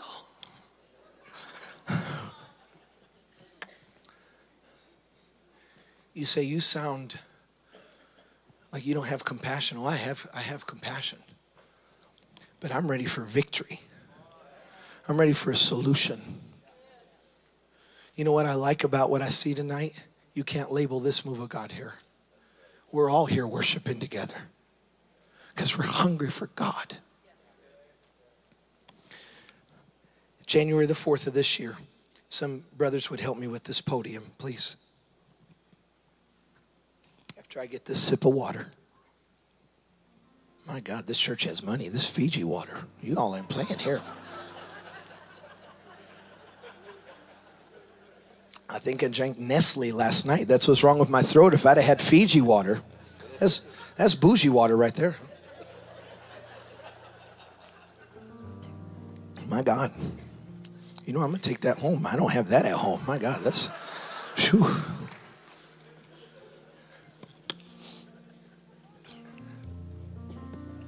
January the 4th, I know I have issues. January the 4th, God spoke to my heart. And He said, This year, your eyes will see 100,000 people baptized in the Holy Ghost. I called a mentor of mine. I'm under submission. I called a mentor of mine. His name's Morton Bustard. He's a prophet of God. I called Brother Bustard. I said, Brother Bustard, I think God just told me that I'm, I'm, my eyes are going to see 100,000 people baptized in the Holy Ghost. That's kind of bold. He said, let the word marinate. He said, if it's of God, it will be confirmed. January the 5th, I got a call from an apostle on the East Coast I hadn't talked to in five years. He said, Brother Tony, I had a vision last night. Now, I have, mind you, I haven't told anybody this word. Said, I had a vision of you last night. You were standing in front of a group of people. In fact, it's a group that numbers 100,000. And I saw them being baptized in fire. Brother Bustard said, let it marinate. Next night, I'm with evangelist Ted Shuttlesworth. And in the altar call, he said, Brother Tony, I have a hunch. We're going to have a harvest of a hundred thousand souls baptized in the Holy Ghost. You know, the Bible says in the mouth of two or three, but sometimes I got that Gideon thing going for me, and I'm like, Lord, one more, one more. So I'm preaching in Los Angeles. Pastor Brian Bolt says, Tony, I believe we're going to see a hundred thousand people baptized in the Holy Ghost this year. So I spoke it. I made it public because I trust the word. Today is November something 2022. This past Sunday in Atlanta, Georgia, Pastor Myles Rutherford's church, Worship with Wonders, you couldn't preach. The Holy Ghost fell. It was an Acts 2 and 4 moment. Everybody got the Holy Ghost. Over 500 people just got the Holy Ghost. To date, this year in the United States, we've seen 31,000 people baptized in the Holy Ghost this year in this country. Now, I'm not saying that to brag because it's not mine to give. It's the promise of the Father. I can water baptize somebody. I can pray for somebody, but only the Father can give the Holy Spirit. So it's, I, it's not that I've done it. I've seen 31,000 so far this year. Now, I listen, I've been in church long enough. You just did the math and you said, "Ooh, you got a long way to go before the end of the year." I scheduled to be in two different countries overseas, and they changed their laws in the last 60 days, and they prohibit Christian preachers from preaching in person, not because of a sickness, but because of conversion. They've made it illegal in those two countries where we were expecting to have hundreds of thousands show up. But now I can't go because the government says it's illegal to convert someone out of Islam or Hinduism or Buddhism. So I can't go to either of those two countries. But thank God I'm from Chicago. And we read the law and then we look for a way around the law. Glory to God. It's that spirit of Al Capone. Hallelujah. The law says I can't go in person. The law never said anything about setting up a screen in a field and inviting everybody to watch a movie where there's a preacher talking about Jesus and the Holy Ghost. So this Thursday, we're doing the very first crusade and we're expecting thousands upon upon thousands we're doing about 6 of them between now and the end of the year and i believe that if I didn't mess up tonight. And if they let me come back here in 2023, I believe with all my heart, I'm going to stand in front of you and tell you, you know what God did? God baptized over 100,000 people with the Holy Ghost with the evidence of speaking in other tongues.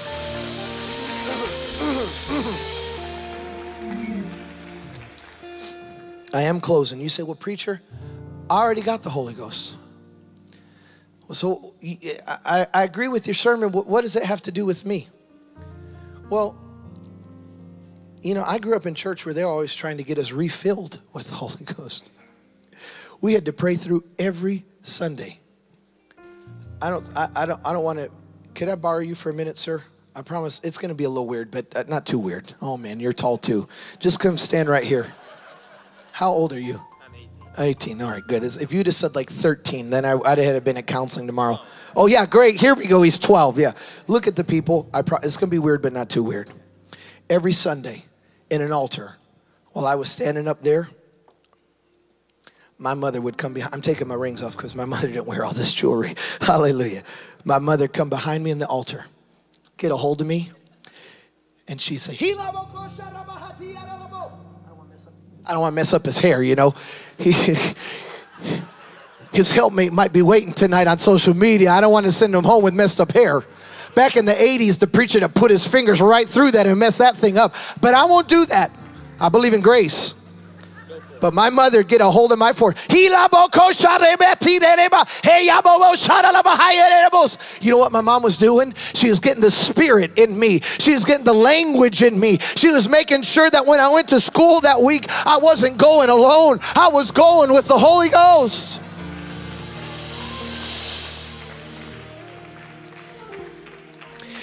What's your name, young man? Connor. Connor, in my house we were trilingual. We spoke English, Spanish, and Holy Ghost tongues. When I wanted to talk to my dad, I had to talk in Spanish porque ese era el idioma de mi papá. Entonces, para yo poder comunicar mejor con él, tenía que hablar su idioma. If I really wanted to talk good with my dad, I talked to him in Spanish because that was his language. Well, my dad passed away eight years ago. So I don't have to speak Spanish as much as I used to. Castillos haven't had me preach at their church in like five years because my Spanish is so bad now. I'm just teasing. But you know who doesn't speak Spanish now? My children. Because the language isn't spoken in the home. You know what happened to Pentecost under our watch? we lost the language because we stopped speaking in tongues in the church. We stopped speaking in tongues at home. We didn't want to offend anybody. And we raised up a generation that doesn't know the language of the Spirit. They don't know the sound of the Spirit. But I'm telling you, fill this house, fill your house, fill the car, fill the atmosphere with the language of the Spirit until it consumes your children. I'm serious about this. I told one of my kids, thank you, Brother Connor. One of my kids is probably having nightmares because the other day I went and sat in his room at about two in the morning, sitting on the end of the bed. And he woke up, Dad? And I just looked at him. I said, You're not going to hell. Huh? I said, I'm not going to let you go to hell. You belong to the cross. You belong to the blood. And, buddy, whatever I got to do, whatever I got to fight, I'm taking you to heaven with me. We're going to be together in heaven. I'm not letting you go to hell. He's probably having nightmares right now. Probably went and saw the school counselor. Something's wrong with my dad. Gina's walking up and down the corridors, the corridors, the hallways of our house, touching doors, just speaking in tongues, not, not trying to be overly dramatic. What's she doing? She's making sure the house is full because devils are trying to take my kids. They're trying to attack my family. And we're making sure that when the demons of hell try to get in, they won't have any room because our house is full. We weren't just filled, we're staying full. We're making sure that when vaping and drugs and pornography and the vices of the flesh try to attack our home, when they try to come after our kids, the Holy Ghost will build up a hedge of protection and say, No, you can't get this one. He belongs to the Holy Ghost.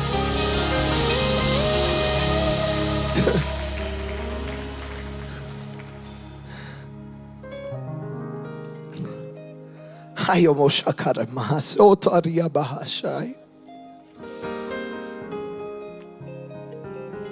Hamashehe Bosia Mohoshata Mahakai Bosai. Horie Shikoria Bahate Sura Bohoshakai. Manda sebrase shibokore bahai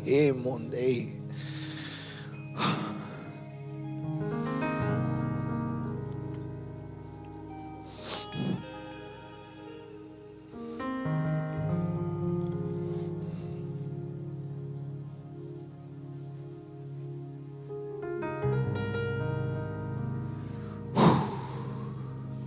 feel you so strong in this place, God.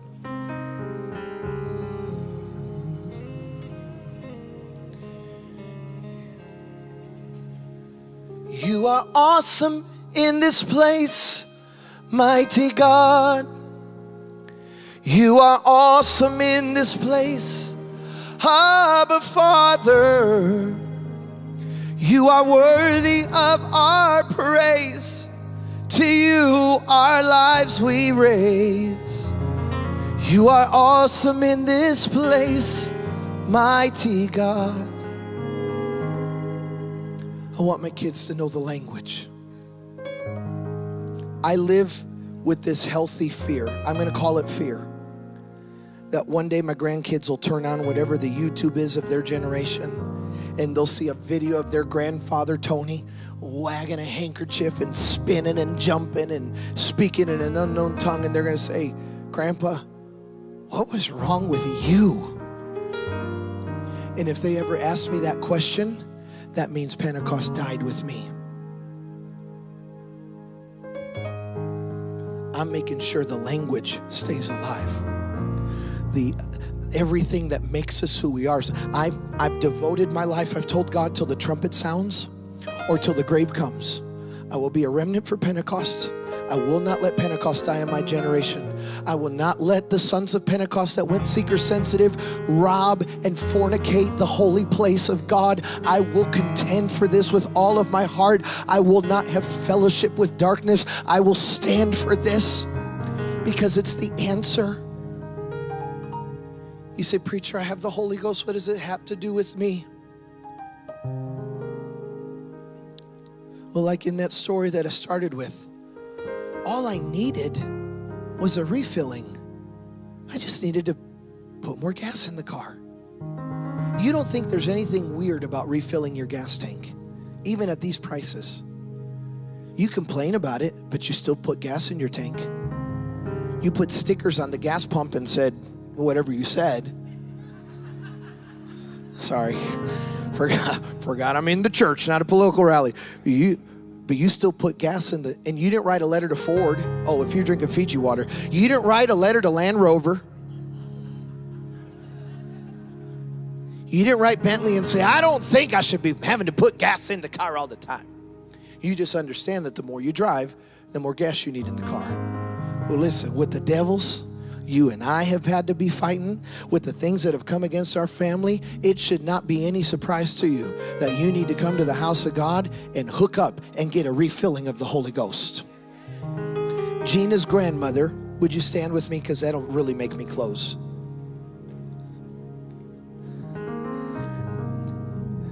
Gina has a grandmother. We call her Mother Carver. She's 89 years old. She's had the Holy Ghost for over 68 years. This is a woman of God. She got the Holy Ghost in a tent revival, Johnson City, Tennessee. The McCools were preaching a tent revival. Twin brothers, Billy and Bobby McCool, 16 years old, were preaching a tent revival in Johnson City. And Mother Carver caught the Holy Ghost. It's never left her. I like to tease her when I see her. I say, Hey, Mother Carver, how many, how many different tongues do you speak in? I bet you speak in like four different dialects of Holy Ghost tongues. She'll say, Oh, Tony. Oh, Tony. We were in a revival service in Elizabethton, Tennessee at my in law's church. And the evangelist said, If there be anyone that needs something from God, let him or her come now and here comes Mother Carver down the center aisle on a walker. She's the only one. She's coming down. And you know how we do in the church. You don't have to admit it, but I'll tell you how we are. Somebody comes to the altar, you say, Ooh, I knew something was up. I knew it. Yep, yep, yep. I, I knew. I saw them last Friday. Hey, so here comes Mother Carver, and I'm over at my preacher chair, and I'm thinking, why in the world is Mother Carver coming to the altar? She got to the front, and the evangelist said, Mother, what dost thou need from God? Ah. Because in the old church, they put the mic in your face. You'd have to tell it all. And Mother Carver raised her hand, Pastor Toe Tau. Sorry, God, help me, Lord. I, I, sorry, I was speaking in tongues right there. Glory. The interpretation is thy name is Tau. Glory to God. Lord, keep me spiritual for two more minutes to finish the sermon, and then you can be done with me.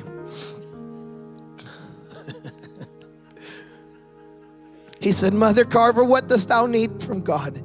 And she raised her hand. She said, Oh, I just need a fresh touch. Oh, and I broke because my spiritual Pentecostal pride didn't let me come to the altar. Because what would they say if the preacher came to the altar?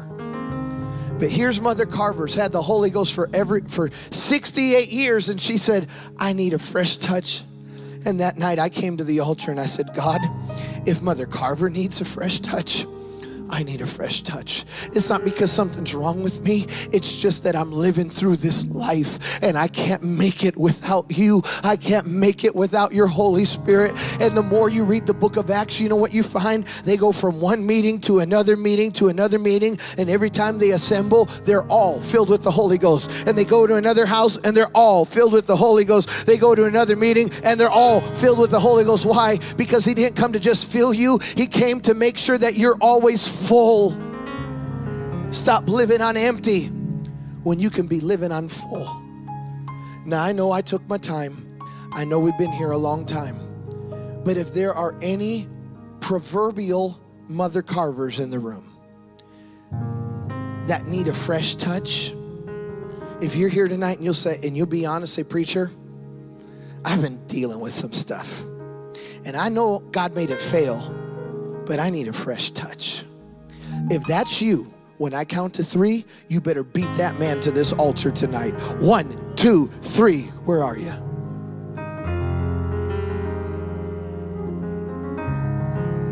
Now, if you're here tonight and you've never been baptized in the Holy Ghost with the evidence of speaking in tongues, this promise is unto you and unto your children, and yea, unto your children's children. He'll fill you tonight. If you're here tonight and you've never been baptized in the Holy Ghost, I want you to come too. This is what God's called me to do tonight. Pray people through to the Holy Ghost.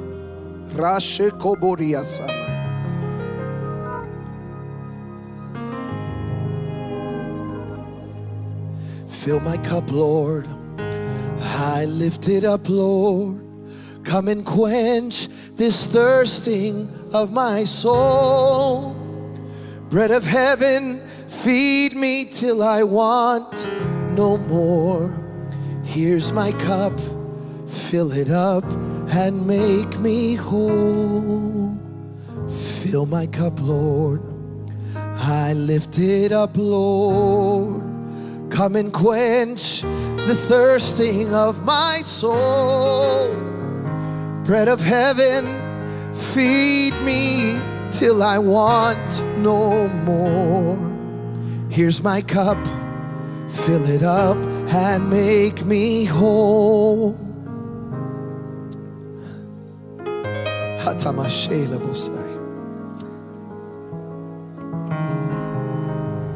Pastor Brian said something really resonated in my spirit because there's we just met. He didn't know when I was going to preach.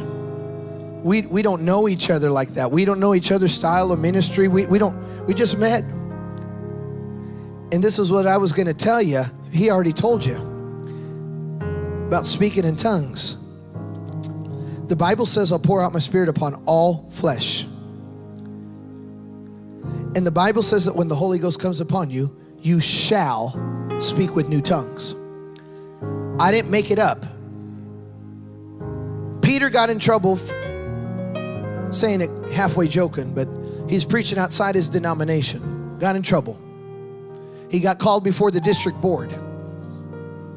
You didn't get permission to preach over there to those people. Well, they got the Holy Ghost. How do you know they got the Holy Ghost? Peter didn't say, Peter did not say we saw them spin. Well, they all fell out. Peter said, We heard them speak with tongues. That was the common denominator between Jew and Gentile to the baptism of the Holy Spirit. Now, if your pastor teaches different, go with what your pastor. I'm just telling you what. Are we good, Pastor? Wait, did you just say I'm going to hell if I don't speak in tongues? Don't put words in my mouth. But I'm asking you, why would you not want the Holy Ghost? If it raised Jesus from the dead, why would you not want it in your life? You say, Well, I don't know why they chose tongues. I don't know either. When we get to the assimilation meeting in heaven and they open it up for Q&A, you ask them up there, yes, I like to know, but I got a hunch over there you're not going to care. Here's what Pastor Brian said that I was going to tell you.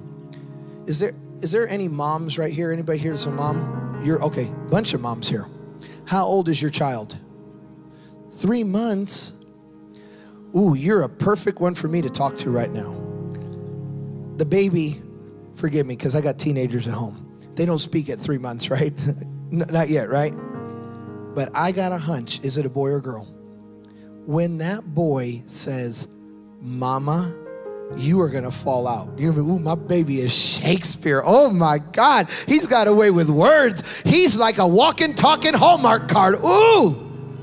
And all he said was two syllables Mama. But you can celebrate syllables. When I pray for you to be baptized in the Holy Ghost tonight, I'm not expecting you to conjugate Greek and Hebrew and Aramaic for 25 minutes. You might just get a few syllables, but speak it out. And then tomorrow, speak it out, and you're gonna get more syllables. And syllables are gonna turn into phrases, and phrases are gonna turn into sentences, and sentences are gonna turn into a language. And in about a year from now, you're gonna be speaking in your prayer language, calling things as though they were, interceding for nations and kingdoms that you know not of. But it starts tonight with a few syllables. If that mom right there can celebrate that baby's upcoming syllables, then tonight I can celebrate Holy Ghost syllables. It might just be a little. That's what Pastor was talking about earlier. It might you might might just sound like a baby and gibberish, but you speak it out and you keep talking it until you get your full Holy Ghost language. He said, I'll pour out my spirit upon all flesh. Last instruction, and then I'm going to pray. Singers, I need you too. Forgive me. I for, oh, there they are. Come on up here. I get nervous when I'm up here alone. Come over here, singers. Last instruction. The Bible does not say you'll think in tongues. It says you'll speak with tongues. You got to speak it out. When I pray the prayer of faith over you right now, I'm going to pray and ask the Father to pour out the Holy Spirit because I can't give it to you. It's His gift to give. But I'm going to pray the way I know to pray. And when I finish that prayer and I shout the word now, I want you to open your mouth, give God a shout of praise, and start speaking in that Holy Ghost tongue. I'm believing that we're going to have another Acts 2 and 4 moment. Those of you watching at home right now, the same promise is unto you. The same anointing that's in this house is flowing through that cable and flying, flowing right through your home. That same anointing that's sitting here is going to hit you. Put it in the comment section when God fills you with the Holy Ghost. Hallelujah. Fill my cup, Lord. I lift it up, Lord. Come and quench this thirsting of my soul. Bread of heaven, feed me till I want no more.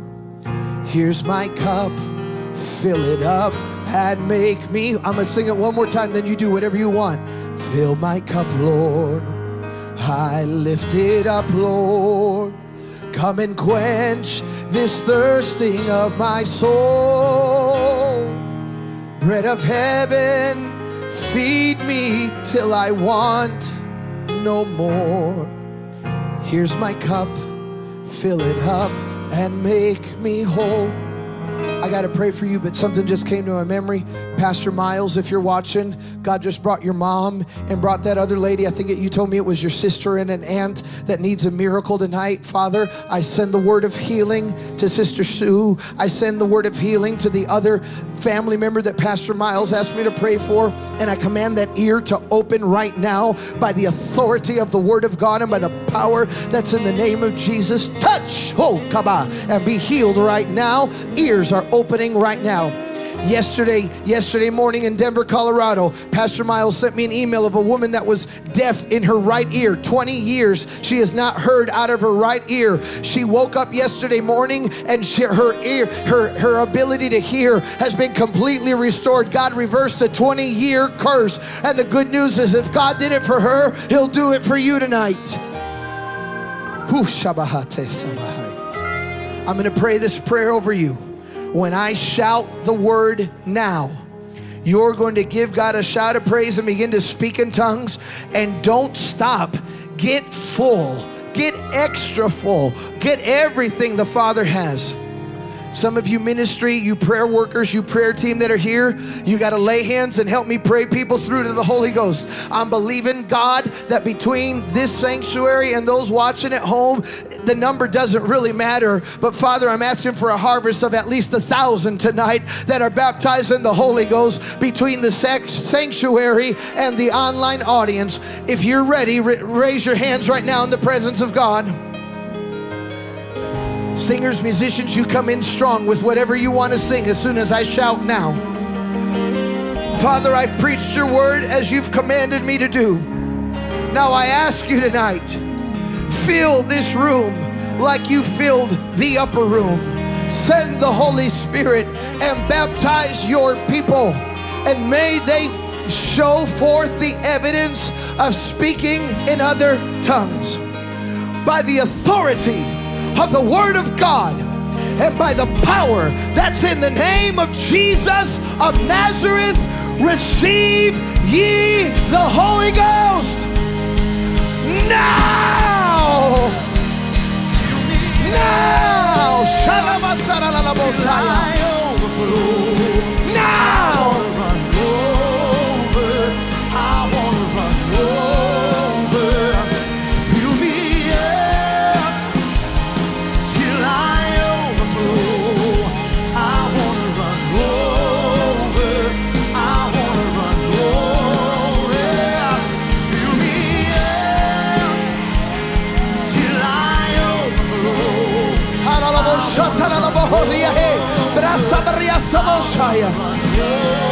Be filled. Be filled. Come on, speak forth that Holy Ghost tongue. Speak forth that Holy Ghost tongue.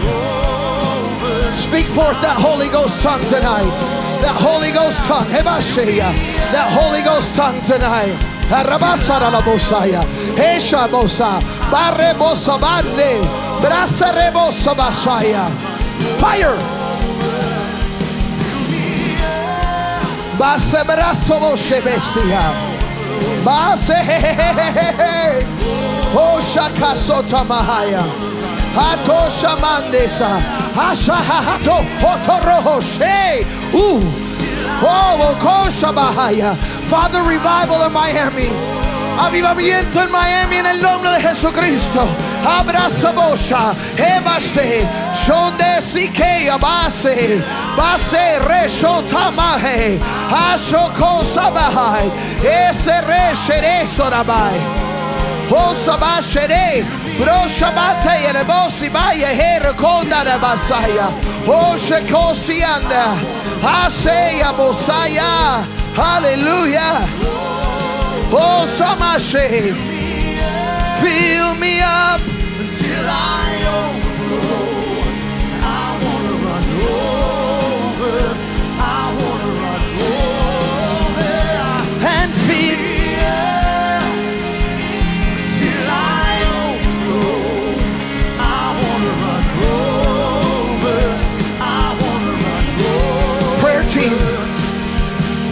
Ministry team, help me lay hands on people and pray people through to the Holy Ghost tonight. Make sure they get refilled until they're overflowing with the power of Pentecost. I speak life over you tonight, restoration over you tonight, healing upon you as the prayer team is praying people through to the Holy Ghost.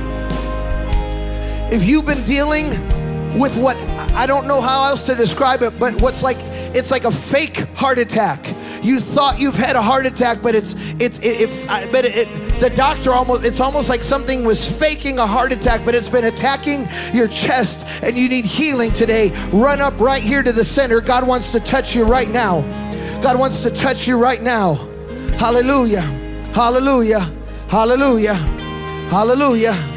Hallelujah. Hallelujah. Hallelujah.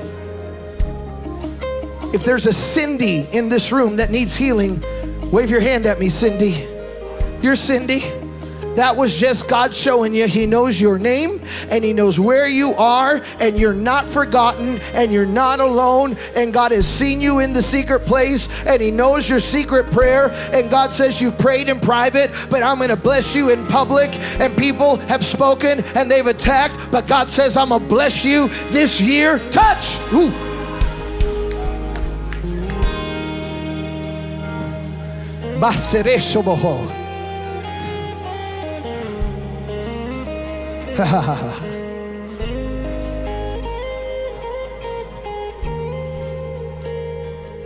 I'm gonna pray for that, whatever that fake false heart attack is. But as soon as I took your hand, I heard God say to me, This is a woman that has been stolen from, robbed, even by people that she loves. But they've robbed, they've stolen.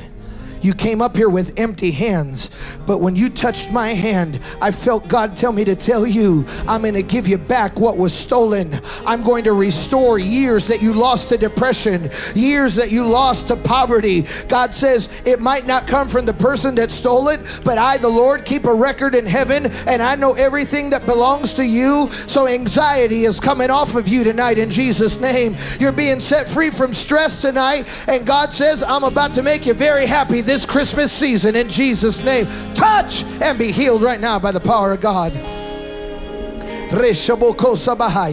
Lord, as you take care of her heart, she needs a blood transfusion right now. She's a little low in iron right now. But even as I'm touching, I feel warmth flowing through her body right now.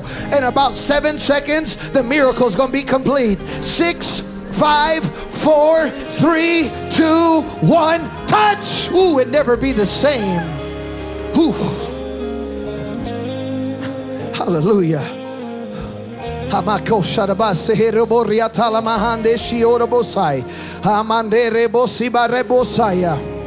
I pull heart disease out of your bloodline.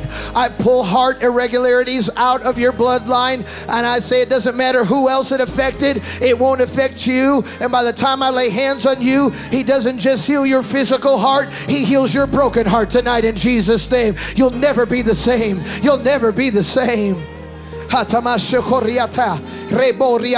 Sibo. I don't know if I, oh yes, I do remember another time I prayed for this. If you're flat footed and you need arches in your feet, I'd run right up to this area right here. You're flat footed and you need arches. There's one. Is there someone else? Get on over here, sis, and get your arches. Brasabosabahare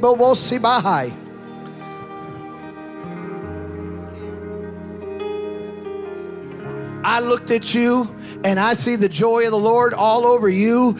Goodness and mercy follows you everywhere that you go. And I'm telling you, some good stuff is coming to your house this year. What the devil tried, God has made it fail. And that last thing that's still been coming up against you, God's going to make that one fail too. This is going to be a good year. This is going to be a good holiday. In 2023, you're not coming to church alone, says the Spirit of the Lord. You're coming with some people that need to be with you. You stood firm, even on flatted feet, because you're strong in the Spirit. God says, I heal your feet tonight, I heal your family tomorrow. And God says, about this time next year, you're going to be like Hannah, you're going to be bringing Samuel to the house of the Lord. Raise your hands. Raise your hands. Anyone else flat footed? I speak to those feet by the authority that God has given me, and I command arches to be created right now in Jesus' name. No more foot pain, no more pain, no more sciatica. You're completely healed by the power of God. Hey, right now, in Jesus' name, touch right now. Oh, this is gonna sound so cliche, brother. Are you here alone? Your wife's back there? Oh, hey, wife, don't get mad at me for what I'm about to say. Because when I went to touch your head, I heard retire, but I heard the Lord say no. I'm sorry. I heard retire, but the Lord said, tell him no. Refire. I know it's cliche. You're about to catch your second wind, my brother. You're about to catch your second wind, and in your second wind is another harvest of blessing. God is going to bless you in your golden years. These are years of prosperity for you. God's healing your feet, He's healing your back, He's taking care of some other things head and shoulders, knees and toes, eyes and nose, ear and mouth, everything and overflow. Get ready to be refired in the Holy Ghost. God's about to bless your home. Somebody give God praise.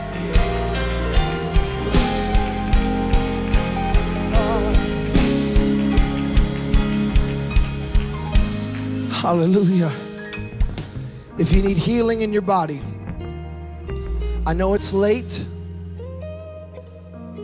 but you waited longer in the line at Disney World to get on a boring ride than you had to wait for this healing right now. There's someone here that needs when you when you step into something since since there's some Bible college students here when you step into something, you'll become sensitive to it and you'll be able to feel it in different places. So, this is probably the fourth time I've spoken this. Never spoke it before, but this fourth time I feel to speak it. Someone that your, your, your insurance won't cover what you need, or maybe the copay is a little out of the range. But I want you to know that the blood of the Lamb and the stripes on his back cover what every PPO and HMO won't cover. You're covered tonight by the blood. And I'm saying what the insurance won't cover, the blood covers right now in the name of Jesus of Nazareth. Whatever surgery, whatever medical procedure or even medicine that you need that seems out of your grasp because of the bureaucracy of insurance, we cut the red tape tonight in the name of Jesus. And we say that by his stripes, you are healed right now. Father, I thank you. I thank you. If someone over here is dealing with long term COVID, I cast it out of your lungs right now in Jesus' name. That rattle hasn't left you, but you rattle no more. Take one deep breath, breathe it out. The rattle's gone. God's healed you and touched you right now. I give you praise, mighty God.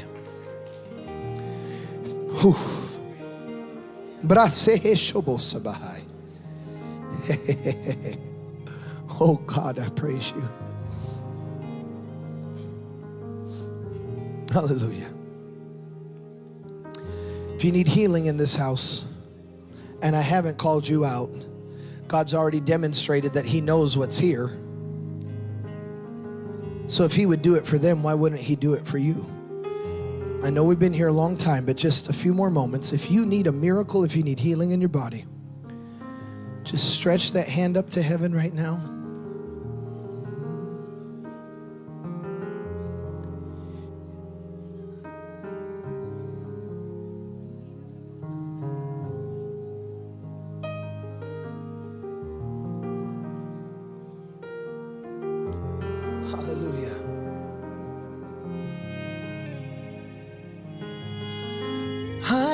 God that healeth thee. I am the Lord, your healer. I sent my word and I healed your disease. I am the Lord, your healer. He's speaking to you right now. I am the God that healeth thee. I am the Lord, your healer. I sent my word and I healed your disease. I am the Lord, your healer. You are the God, you are the God that healeth me. You are the Lord, my healer. Now I'm claiming it. You sent your word and you healed my disease. You are the Lord, my. Just claim it over your body right now. You are, you are the God that healeth me.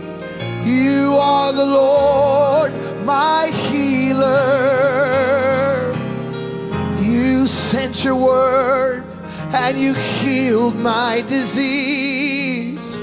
You are the Lord, my, in the name of Jesus, be healed, be delivered, be restored now by the power of God. Start praising Him right now and walk into your healing because He sent His word.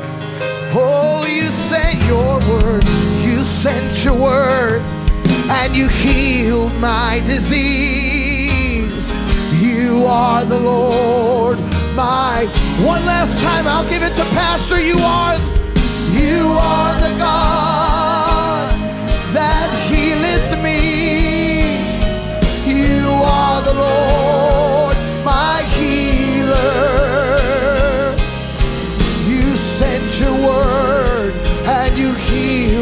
my disease.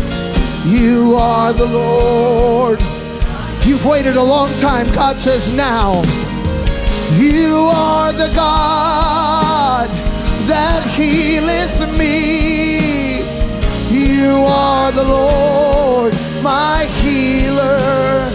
You sent your you sent your word and you healed my disease you are the Lord. I am the God.